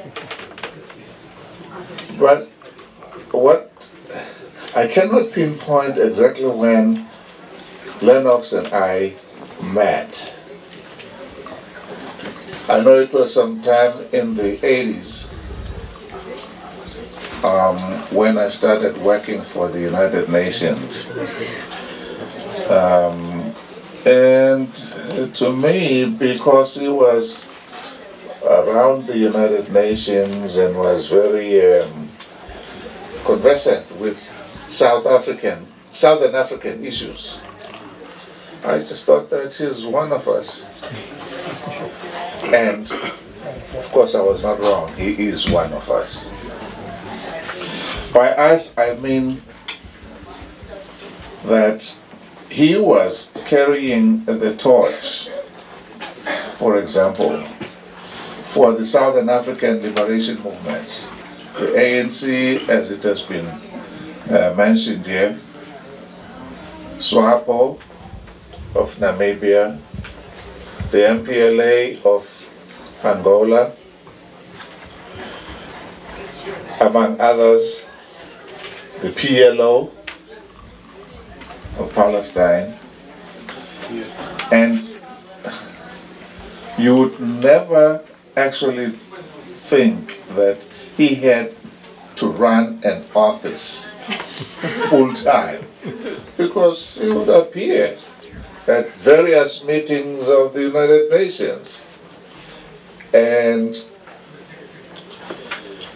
I, I, I began to understand though because some of my colleagues who were based here, in particular Johnny Makatini, um, some of you know him or about him. Um, we sat and uh, he briefed me exactly what um, Lennox was about. And of course, I discovered for myself a little later. Lennox is a true revolutionary. Yes. Because in my mind, the hallmark of a revolutionary, of a true and great revolutionary, is humility. He is, uh, I'm sorry I'm saying it right in his face. Nevertheless, uh, I'm sure that uh, he, he, you know, people know that uh, he is a very humble person. He represented Nelson Mandela, as it has been mentioned, personally. He represented the government of the African National Congress when it came to power in 1994. And if I might add very quickly, he was instrumental in resolving a long-running case which the ANC government inherited from the apartheid government. It was a case that had to do with with arms, acquisition of arms, and as you know, there was uh, an embargo on arms supply. But the South African government, various South African governments, have tried had tried at, up to that point to get arms from anywhere where they could. He resolved it. After some people considered that whole case a cash cow, and he stepped in and took it over and resolved it within a short period of time. He was also very instrumental, by the way. That is Lennox Hinds standing right here before us today in organizing the 1981 Conference Against Racism in um, Riverside Drive, the church. Following that, there was, before that, but that particular conference was an attempt to give the Southern African liberation movements a final push in order to defeat racism in Southern Africa. Then in 1992, a follow-up conference to that, which was in support of the ANC and SWAPO, uh, took place. Also again in, in Riverside Church. That was at a time when, in fact, it was clear that the Southern African uh, um, uh, uh, movements, in particular the African National Congress, was on the verge of assuming power in, in South Africa. Now, I, I, I, those were all, to me, those were all, that was all evidence of his great organizational and mobilization skills that were displayed in organizing all these conferences. But the man has been an unfailing and unflinching supporter of liberation all over the world. As you have heard also, he has been involved as a criminal defense lawyer as well as an international human rights lawyer. In various cases, whether it's Angela Davis or Assata Shakur or other people who have found themselves in circumstances whereby they needed um, uh, protection against unjust laws. And I would like to uh, say, and hopefully, I, I wish I could actually state this on behalf of the people of South Africa, that Lennox has made a massive contribution to the struggles of our people in Southern Africa, to people in this country, and to people everywhere who have been victims of unjust laws as well as racism.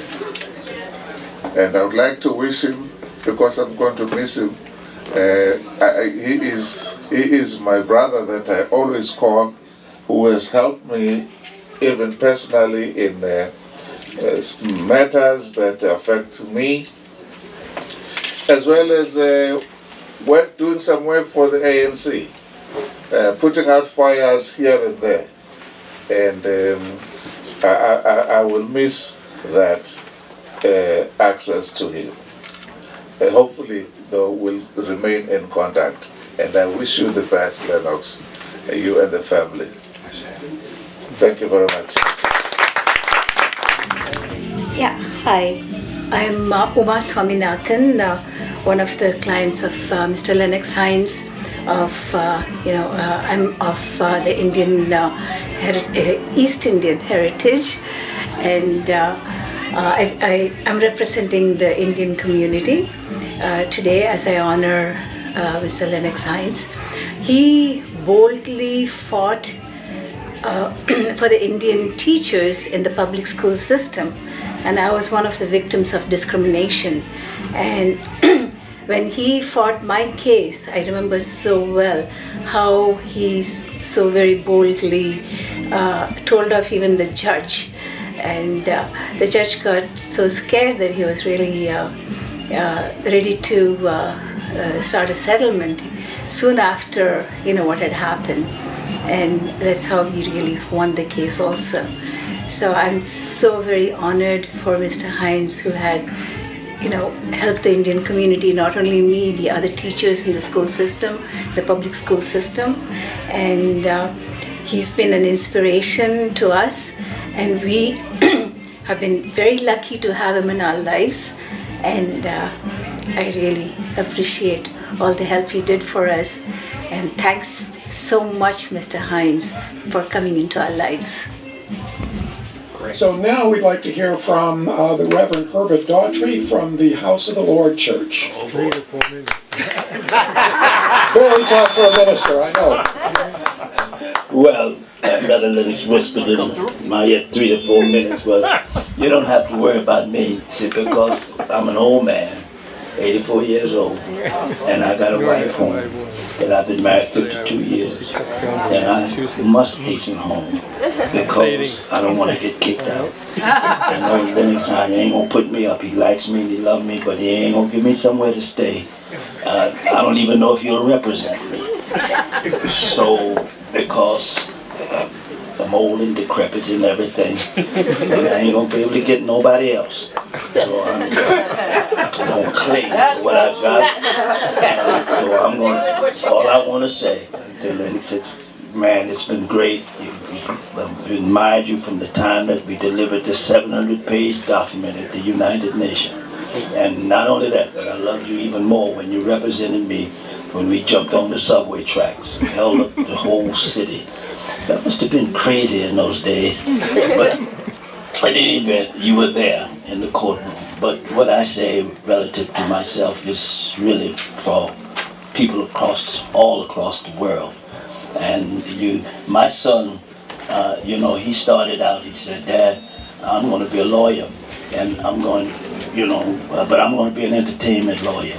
And because I want to drive me big cars live in a big house. And I said, all right, you know, you violating the family tradition, you, you go ahead. So he went on, he graduated University of Chicago, went to Georgetown Law School. And then he called me uh, from Georgetown Law School. He said, you know, Dad, I, I changed my mind. I said, you know, I'm going to go through, finish my law practice. And I've been inspired by Johnnie Cochran and Lennox Hinds. And I'm going to change my pursuit. I'm going to now come back to the hood and I'm going to do what Brother Hinds and others have done. You know, well, I was, I had, must confess, I had mixed feelings because, uh, you know, I said, it's great, son. Hallelujah. You living in the family tradition for the people, love the people. you know, uh, but then on the other side, I said, but you're going to still be in my pockets. you ain't to make no money. so he did. He finished. He, you know, in fact, he passed the first exam in Pennsylvania and New York. But as I said, you you know, you just get out of my pockets at some time. so he went on and went into education. But you've been an inspiration, I'm trying to say, not only directly to us, the beneficiaries, but to the next generation.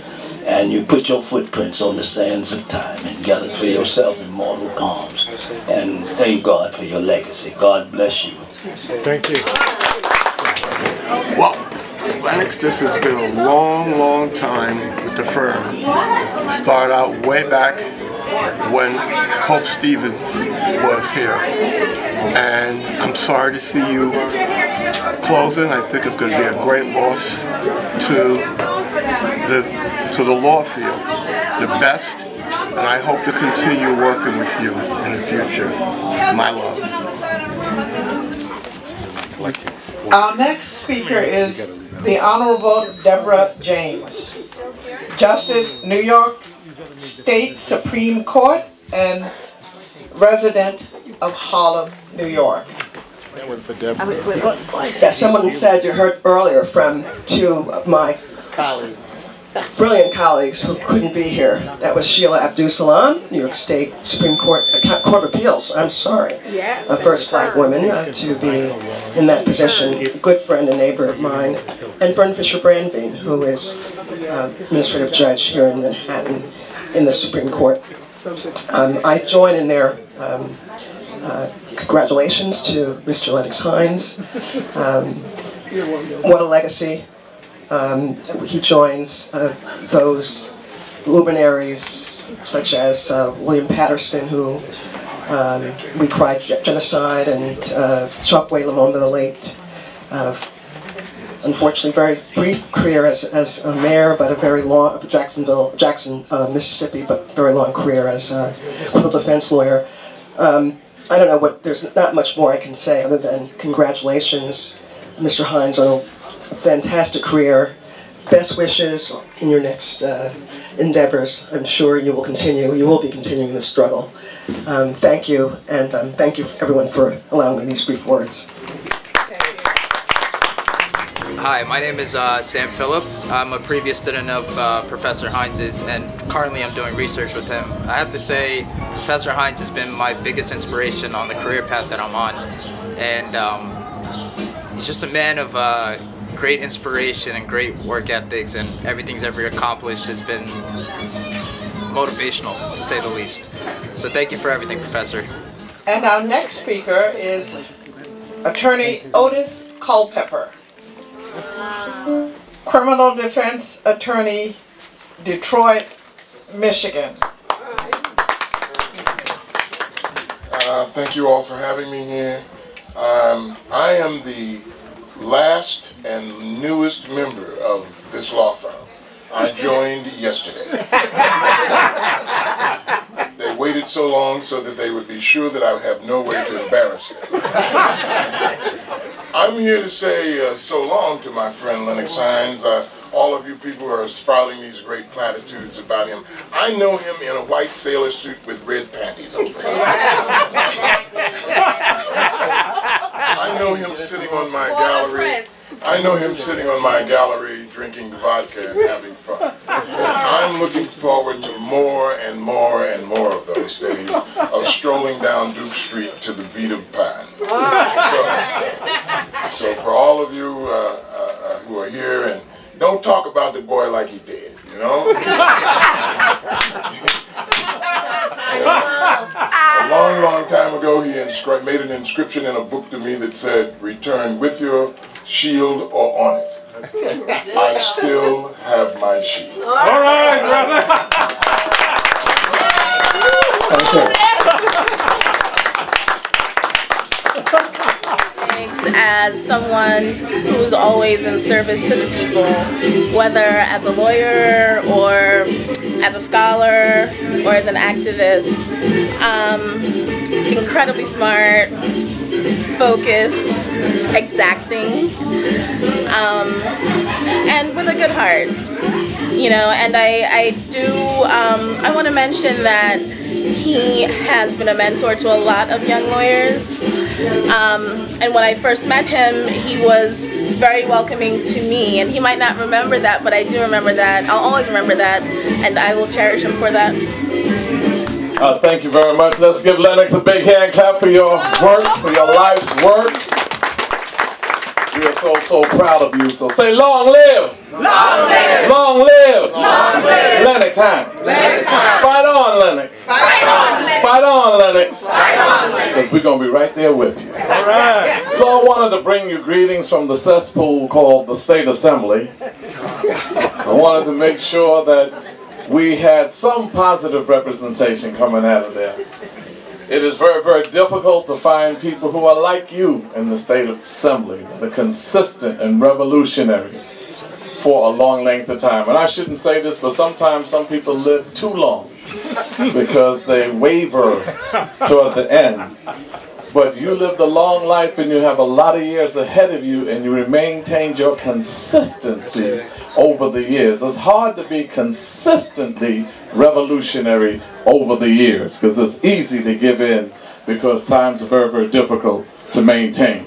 So I just want to come by and say, fight on, keep the struggle going. We do have a, a citation and I don't have my reading glasses, so my chief of staff, Viola Plummer, should give a big hand clap. She'll be coming back with the New York A.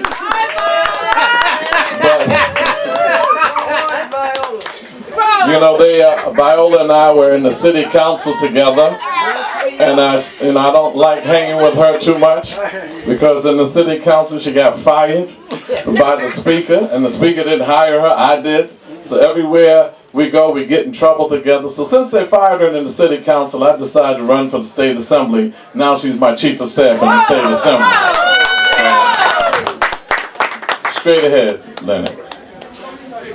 says, Dear Lennox, on the occasion of the celebration of Stevens Hinds and White 75 years in defense of the people's movement, nationally and internationally. Accept this citation in recognition of your tremendous legal, social, and educational services to our community. Good luck in your new location. Keep it moving. Assembly Member Charles Barron. Okay. Thank you, Lennox. And all the colleagues that are right on, we appreciate you so much. We'll make them respect. Hi, my name is Chelsea Jeske. Um, I had Professor Hinds as my teacher last semester in September, and now I do research for him. And um, ever since I had him as a teacher, it's been amazing. I learned about international law through him. Before I took his class, I didn't know anything about international law or or about international terrorism. So taking his class really gave me a perspective on international law. Our next speaker is the Honorable Travis Francis. He's not here yet. Well, he's not here yet, so we will move to Professor Leonard Jeffries, former chair, Black Studies Department, CCNY, President, World African Diaspora Union, Professor Jeffries. Thank you very much, uh, family. It's a pleasure to be here to, to stand with the long distance runner. Uh, we go way back. And in fact, I'm sentimental about Lennox and his work because when I was a youngster, I thought I was going to be a lawyer. To save the race. Thurgood Marshall type. Actually went to law school, Lennox. I went to law school NYU 1960-61. The only black person in 500 students in the day session of NYU Law School.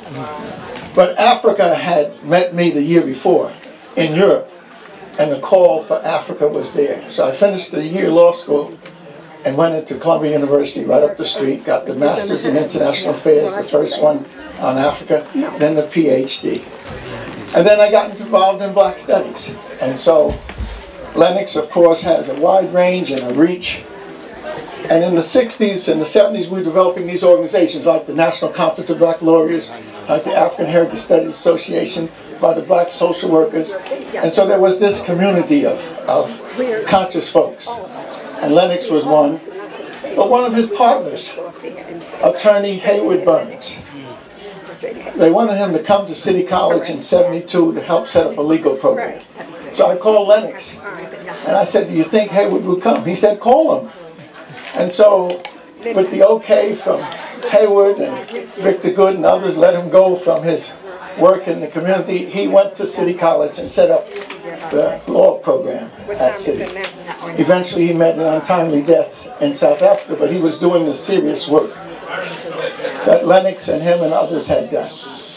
But my big moment with attorney Lennox Hinds, and I knew he was headed for great things, happened in the early 80s. I live in Teaneck, New Jersey, coming to New York for 40 years. I've been stopped at least 60 or 70 times by the police. So I knew that it was dangerous to drive black. However, they had a station of cops or police officers right at the certain position in the George Washington Bridge, and they always stopped black young men or Latinos coming across the bridge. But one unfortunate day for them, they met up with Lennox Hinds.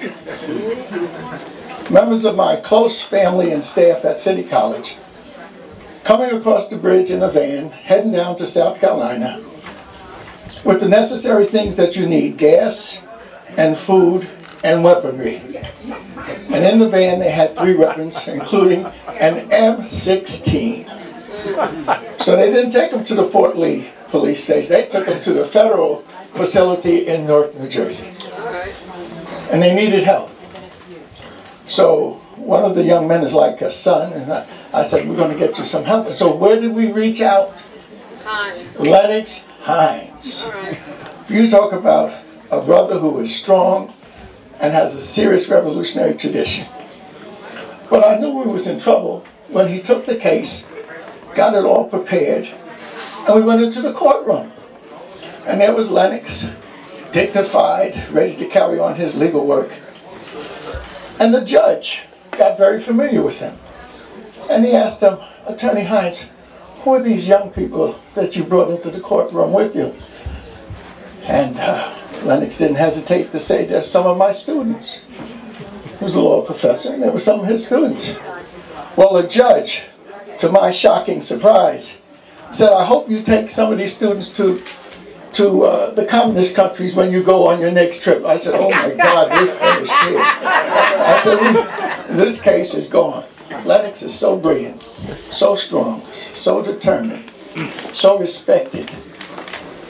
They knew they had a class action suit because they illegally stopped these young men. And they knew that Lennox would take that case and make it a historic case of abuse of police authority. And so three young men with weapons in the car got off thanks to Lennox. I knew he had a serious future when he was able to do that. So Lennox, I just want to stand with you.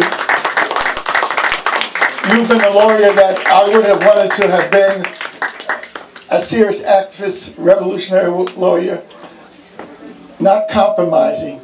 And so I'm just glad to see you, brother. And keep on doing it the struggle continues. And we're on a victorious path. All right. Uh, next, we're going to hear from uh, attorney Michael Warren.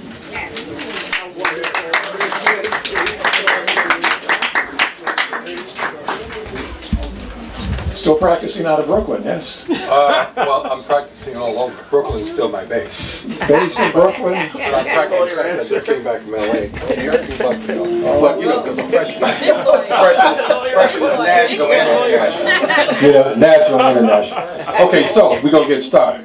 Um, Lennox, when I think of you, I think of the uh, the many different levels of struggle that you have been involved in uh, on behalf of our community locally, nationally, and internationally. I mean, you are the embodiment uh, of the of the prince of the uh, diaspora and and the prince of our, uh, of the prince of our people wherever we are and wherever a fight is.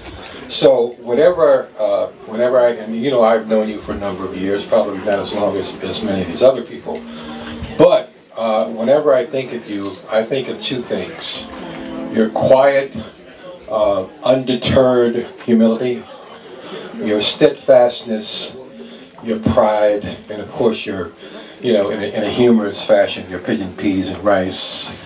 But but but I also think of your your temerity, and there's very few people that are purportedly involved in any semblance of principled struggle that have temerity. You know, it's like a it's like a flame that flickers out. You know, but your flame has gone on, as us lawyers say, in perpetuity.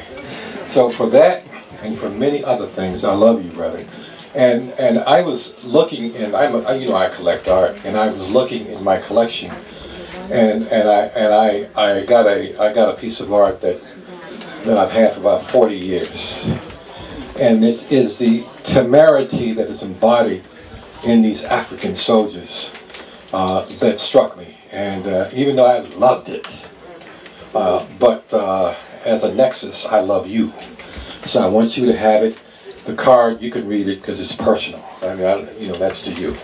Uh, and so Evelyn and I, who Evelyn is here my my wife, we we we we we, we send you nothing but love.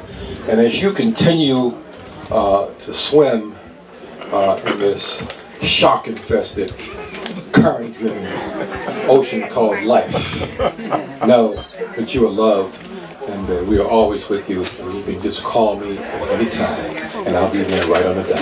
Okay? Where's Evelyn? Where's Evelyn? Come, come, come, come.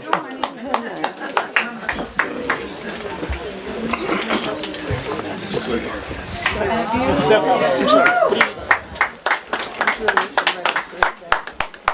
Thank you.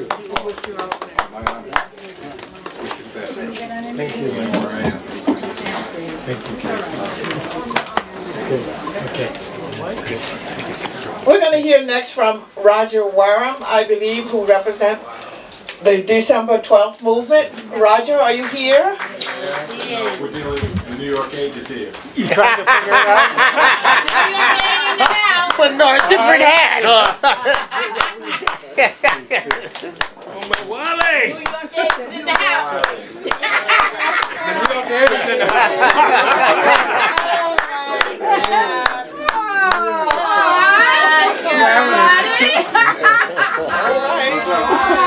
Okay, and now. In our council. And our council. The real As quickly as I can. Uh, you know, at, at the bottom of the, the program, when people are tired, et cetera, et cetera, et cetera, they call a New York 8. Right. And they call it New York 8 because Lennox Hinds, Margaret Burnham, Roger's lawyer, Billy Mogilescu. And myself. Right. right. Number Wally Clay. 1984, we were arrested. We had 167 counts from murder to bank robbery to you kidnapping, etc., etc., etc. We were the first group of people arrested under the no bail law that was enacted five days before our arrest by what's that pig's name? What's his name? Giuliani. The law. Oh, oh, oh. Ronald Reagan. Oh, Reagan. Reagan. Giuliani was the attorney, the prosecutor. And as quickly as I can tell you all, Lennox Hinds, you know, humility, humiliating those people who attempted to make an example of those of us because we were fighting a system that was one of the worst in the world from the time they invaded the continent until today. And so that we fought them. And Lennox was superb. Lennox and I went at it. right? Straight up. I said to Lennox, we are not going into court as defendants. We are going into court, right, to offend the offenders, and that we are not the criminals the United States justice system is. Amen. And the government. Lennox said that. Len, I, we can't, you know, at the end of the program, it's, it's, it's, we don't have time to tell you what the real deal was, y'all. See, this is wonderful. You know, oh, and Victor Goode. See, they gave us all kind of time. Lennox defeated them. Mm-hmm. We had 167 predicates, mm-hmm. right? Under the no bail law. And RICO. We were the first group to be tried under RICO, hmm. which was passed for the mafia. Hmm. They tried us under that law. Margaret Burnham and Lennox Hinds. And they educated Billy Mogilescu because I like Billy, right? But they, they, in terms of that law, defeated the United States government. So much so that when we were acquitted, the assistant U.S. attorney cried. Literally cried. When we were to be sentenced, the judge then, Robert Carter, could only sentence those of us who had ridiculous charges. I think I was convicted of going into a prison using my voter registration card. However, they wanted us to be given some of the most severe sentences that you can imagine. Carter didn't do that. And I don't know if any of you, you know, I can go in favor, but Judge Roderick Carter was one of the people in Attica. I was sentenced to go to work for Victor Goode.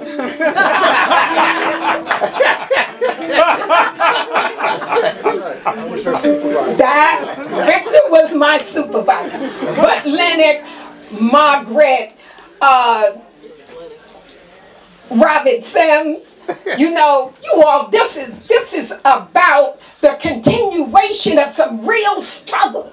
You know, I know you're supposed to be all, you know, whatever you be when you be be lawyers and you know, but from from the New York Eight to the International Criminal Court in The Hague, Lennox represented us there. Okay?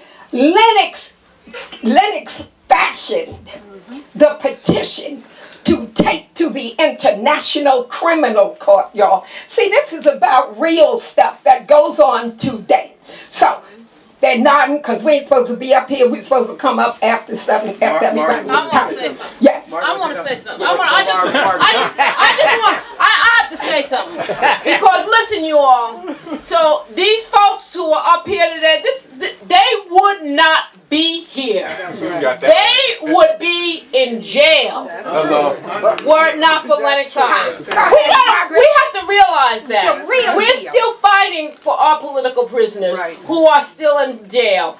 These folks out here, all that they have done since 19, what you all get out? 1984, all that they have contributed to our community in all over the world, in Brooklyn, in Harlem, all over the world, that would not have happened were it not for the aggressive wisdom, yes, advocacy, revolutionary spirit of Lennox. I was on that team. That's right. Yes. I followed his guidance. That's right. As did all the other lawyers in there. When we thought we first looked at all them charges she's talking about, and we're like, what?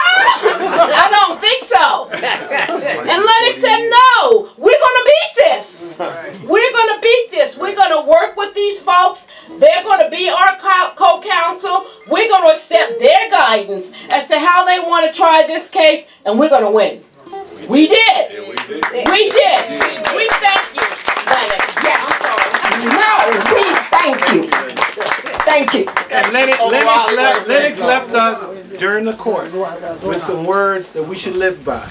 You can't run, can't ride with the hunter and run with the fox. All right. Hallelujah. Thank you. I'm gonna get a picture of Joe. Let's have Uh, next, we'd like to hear from Carrie McLean, representing uh, the National Lawyers Guild. Is Carrie still here? You still here? Carrie McLean still here? Carrie had to leave. Carrie had to leave. Uh, Florence Morgan, representing the Executive Committee of the National Conference of Black Lawyers. Thank you, thank you. Hi, I'm Florence Morgan, and I'm going to read a statement from one of our past national directors. Can everyone hear me? Am I talking too loud? No. In the mic. From Adjua Ayatora. I have to hold this while I read? Okay. Adjua writes, and I'll make 30 seconds comment after this. I am glad Lennox Hinds is being honored. I worked with Lennox since, since 1978, both in the National Alliance Against Racist and Political Repression and in NCBL. I've always been impressed with his keen intellect, fabulous command of the English language, legal skills, and, most importantly, his deep commitment to social, economic, political, and racial justice. Although my knowledge of Lennox's reputation for being an imposing advocate for the oppressed preceded my meeting him in person, his reputation is, is, is daunted by his larger than life spirit and uncompromising commitment. As imposing a figure as he is, he is supportive of those stepping into the arena with him. I remember one event organized by the Alliance in which I worked with him making the legal and political arguments for a political prisoner. It was to make the, I was, he was to make the closing art statement. Charlene, that's Charlene Mitchell, approached me right before that was to happen and said I had to do it because Lennox was not available. I gulped, made the argument, and looked up, and there he was. And there he was. He allowed me to have an experience that increased my confidence in myself as an advocate. This was a form of training in the movement that is essential, and, and so often those of Lennox's stature do not take advantage of the opportunity to be teacher and not just star. Lennox, you deserve so many accolades. I appreciate you. I honor you. I love you. Uh, and I just added to my own words, I know what Ajua means when she says that Lennox is available. Lennox, you're so available to all of us. You may not always be where everyone wants you to be, but you are where you need to be. And I was not a member of NCBL when you first came on the scene, and neither was I so familiar with Stephen and White, but I, I had some DNA testing done. And based on that testing, you tested positive for leadership, and you tested positive for commitment and courage, and the man who fights the bully on the playground. And we love you. NCBL love you. You never say no to us, and we love you. Thank you so much. Congratulations, Lennox and friends. This is Osam from Tokyo. Many thanks for choosing me as one of the three special invitees. Today may be the last day of the New York office for Lennox, but in my thought, that can be a new start for another legend. Naturally, I feel proud and honored to send a message, but I feel a little sad because I failed to join you here in New York. Lennox has made indeed mountains of contributions, contributions to Japan and Okinawa. He led the international mission to Okinawa in 1996, just after the big rally there with more than 8,000 participants. His statement was clear and strong, and of course, resounding.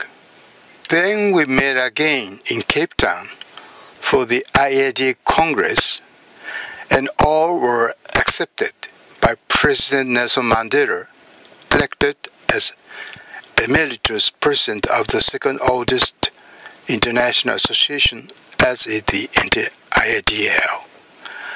There I first met Beth and Janice, and sadly enough, I last met Professor Haywood Burns. Lennox also made a short stay as a visiting professor at my university in Tokyo. It was in 1999, if my memory is still correct. He was vigorous and adept in teaching. Anyway, he has been the best mentor, a precious friend of mine, and really great active lawyer in the human rights role. I will never forget that I have been with one of the great lawyers in my life. Thank you. We are going to now introduce uh, one of uh, Lennox South Korean clients, Mr. Kim Yoon Bong, the New Thinking Academy, and his wife, Mrs. Kim J. M. Would you kindly come forward?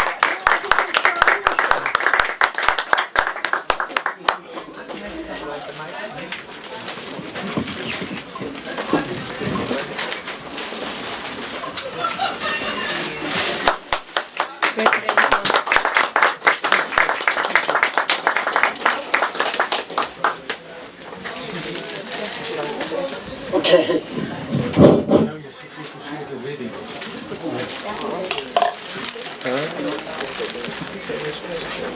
Of we are Thinking Academy all members, and particularly President Lee and Vice President Chung and Lee.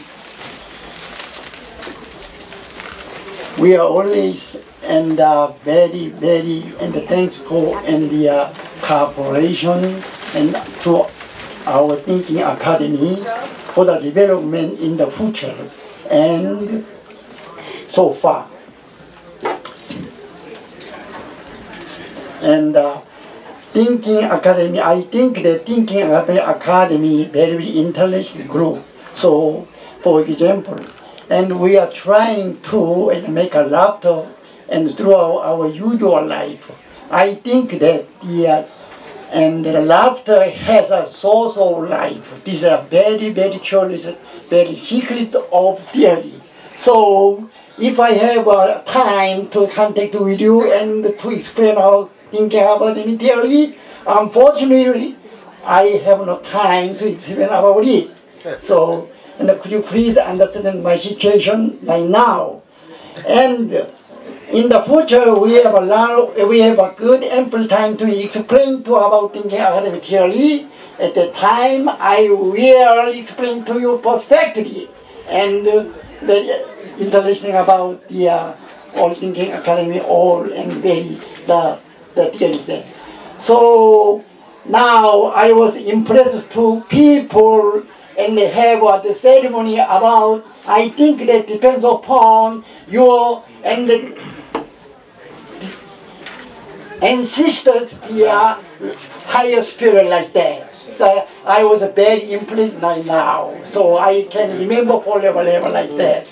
Uh, so, and uh, finally, I wish that my lovely, my respecting and the Professor Hinds will continue to serve all, all of the world human beings human rights. Thank you. Thank you.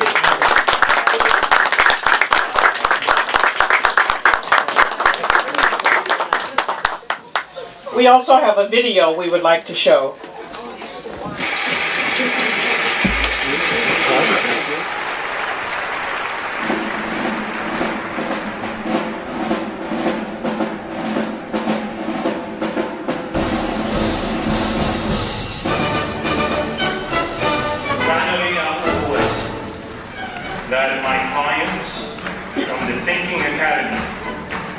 Have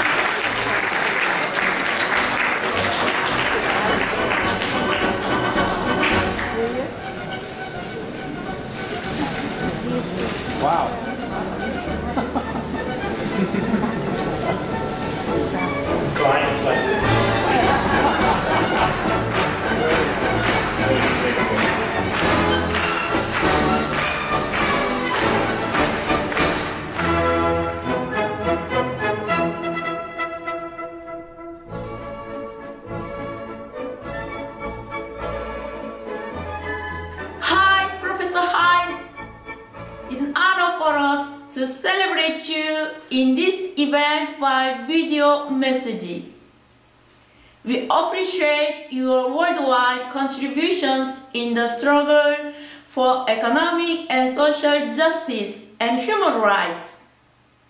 We are so proud of your everlasting achievements. As always, we'll be with you and support you and will stream upstream like you. We all members of the New Force Thinking Academy respect you and love you. I love you. Hi friend, first time. Once again, we celebrate you for this study. We would like to send you together. Excellent. With deep sense of gratitude and love and unlimited power. Are you ready? You are 동계, 보름달, 둥근 달, 달림 만만세. 우르히.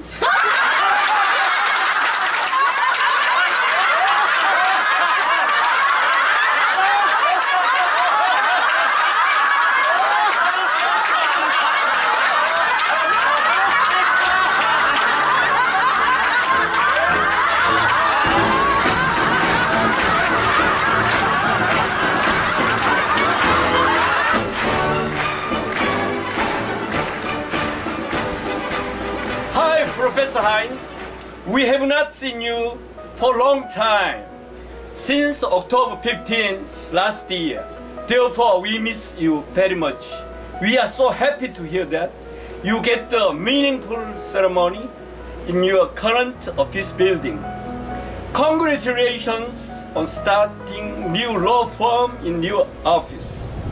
We are sorry not to attend this ceremony, but we wish you a successful business forever with our true heart.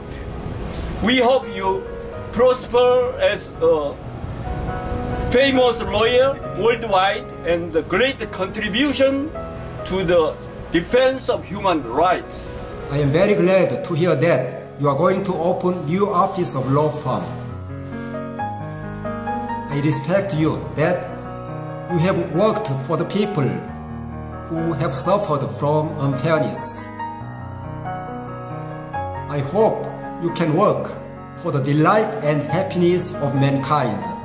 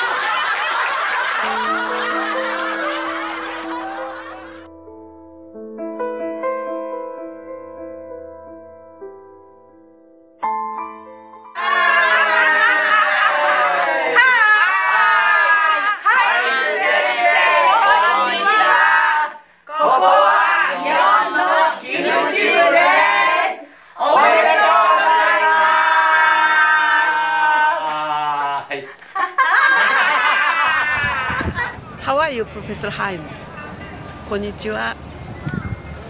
This is Nagoya in Japan.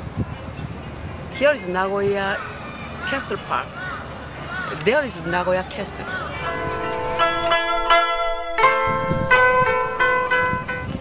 Zero pieces of time to farewell. Congratulations to start a new office. I hope you more young and healthy is a Professor Hinds. I hope you thrive in the new office. I'm big fan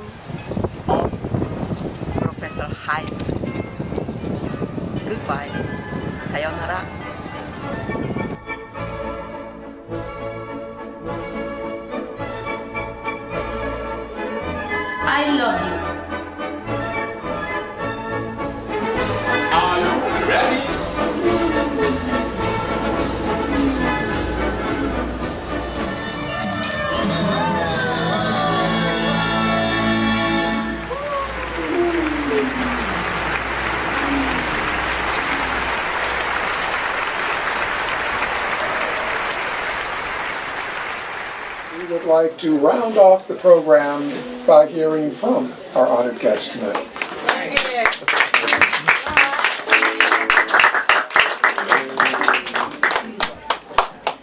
Thank you, Victor and Annette. I've been asked, what do I intend to do now that this building been sold? And there are rumors that I am retiring and going off to plant tomatoes, cabbage. Marijuana. I'm not sure that that is part of my repertoire. I mean, I've never been known as someone who's been into pot. Um, but I don't plan to get into gardening. This building is being sold, but I remain who I am. My commitment to the struggle of our people remains undaunted. The last image you saw in the video is people from the New Thinking Academy. It's interesting. I want to tell you a little bit about that story. About five, six, five or six years ago, the leader of a successor organization to the New Thinking Academy was arrested and convicted of murder. That is, was convicted of a conspiracy to kill members of a rival religious organization. I was hired, and there was an international campaign, um, investigation, etc., looking for international lawyers. And the committee in South Korea contacted Mr. Kim right here. and uh, he went. Uh, he's from Philadelphia. They contacted various people, various prominent lawyers, and someone said, contact Professor Hinds. They contacted him, he contacted me. To make a long story short, I participated in a international campaign challenging the death penalty in South Korea and worked with the international the team of lawyers whom the organization, the church organization, had hired in South Korea on appeal of the death sentence. I made certain recommendations, certain arguments were made, and his death sentence was overturned. They actually believed that I was ordained. that it had to be some divine intervention that resulted in Lennox Hinds coming forward and resulted in the overturning of the death penalty because they were convinced he was destined to the noose. And that developed a relationship that has not wavered over the last half a decade. My commitment remains the same, undeterred. This office, I am closing it down. We have sold the building. We will be out of here May 15th. But my commitment to the struggles of our people remains undeterred. There are people who have said to me, Lennox, you have presented petitions to the United Nations in 1980 dealing with police crimes. How come we don't see you on CNN? How come we don't see you on any of the talking heads? I don't need it. I really don't. I have said what I need to say. Hmm. There are three students here who are now doing research on a book that I wrote in 1979 called Illusions of Justice Human Rights Violations in the United States. Paul Robeson, William Patterson, in the mid 1950s, brought the first petition challenging human rights violations in the United States to the United Nations, followed by Malcolm X. I, on behalf of the Conference of Black Lawyers, the National Alliance Against Racism and Political Repression, and the United Church of Christ, Commission for Racial Justice, brought a petition in 1979, which I then published the book. The book has been out of print for about 10, 15 years. I found out that Amazon is selling it for $300. Wow. So I've updated it. And I've had three students who are here, me tonight. Sam Phillips, Chelsea. Raise your hand. Alex Yanoli. These are students who are updating the issues in light of what has happened in Ferguson, in light of what has happened on Staten Island, in light of what has happened in North Charleston. But we wrote about this. Police crimes continues. And the National Conference of Black Lawyers that I have and with Victor Goode uh, has been providing leadership in the past with and Margaret Burnham has decided that we will train minority lawyers, equipped minority lawyers with the tools required for them to hold whom? The police. The police department. The municipalities accountable. And in exchange, those lawyers will earn a fee. But we will train them so that our people will be in a position to use the courts to obtain some measure of justice. Annette Ensley, one of the NCBL administrators, who has been spearheading uh, this project. I will continue to advise and consult. I am moving from the actual litigation. I am not going to be trying cases domestically. I would advise, consult, refer, but I'm stepping off the treadmill.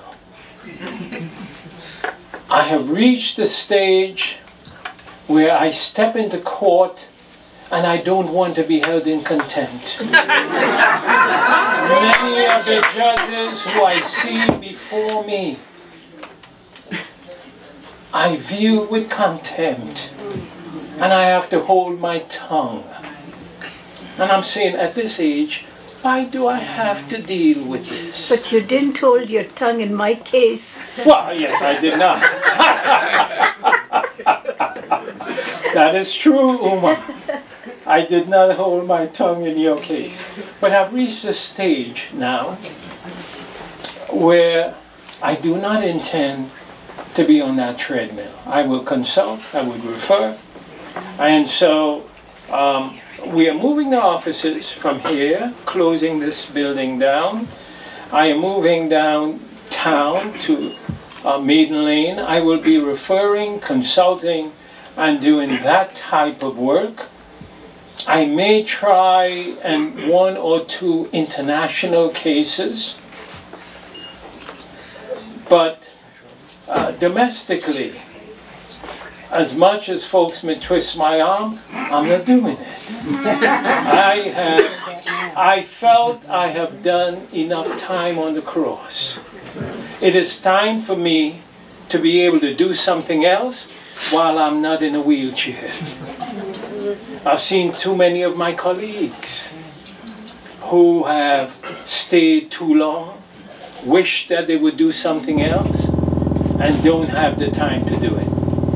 So I apologize for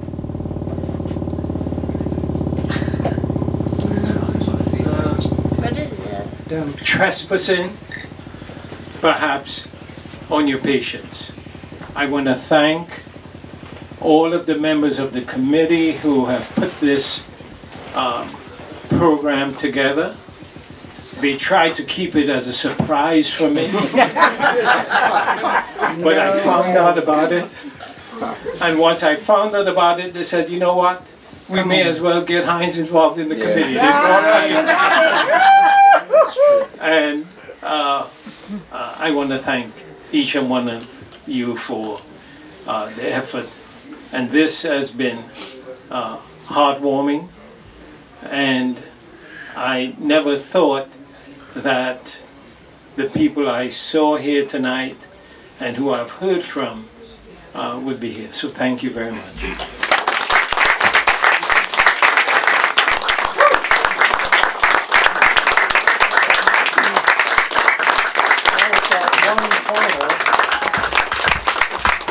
Remark. I think everybody in the room knows uh, who is about to speak. She's simply Sam.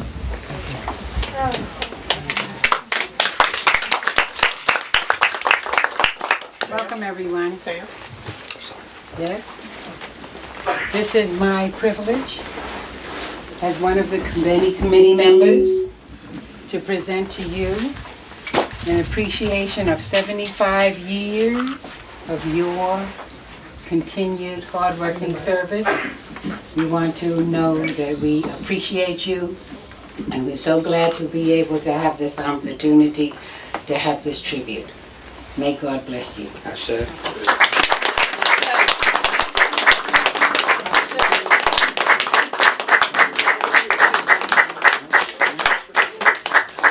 Oh, it's coming. Oh, it's coming. Okay, come on, I can come right on in here now. A cake? Happy Wow. birthday to you. About? Happy birthday to you. Happy birthday, dear Lennox. Happy birthday to you. Now I'm going to sing my birthday song There you because that go. one is a little too slow for me. All right. You got a birthday, we got none, we sing to you. You got a birthday, we got none, we sing to you. Happy birthday, we sing to you. Happy birthday, we sing to you. You got a birthday, we got none.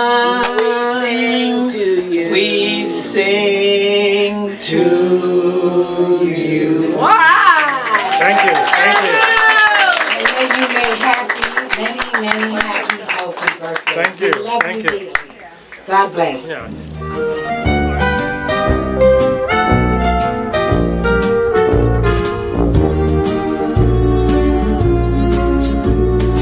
You've got a friend in me. You've got a friend in me.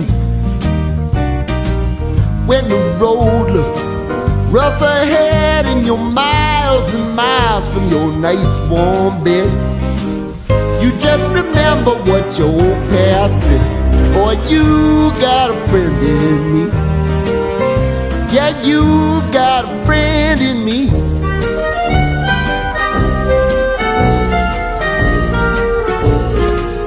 You got a friend in me. You got a friend in me. You got trouble, and I got them too. There isn't anything I wouldn't do for you. We stick together, see it through, cause you've got a friend in me. You got a friend in me. Some other folks might be a little bit smarter than I am, big and stronger too. Maybe, but none of them will ever love you the way I do. It's me and you, boy, and as the years go by, our friendship will never die. You're gonna see it's our destiny. You got a friend in me. You got a friend in me. Got a friend in me.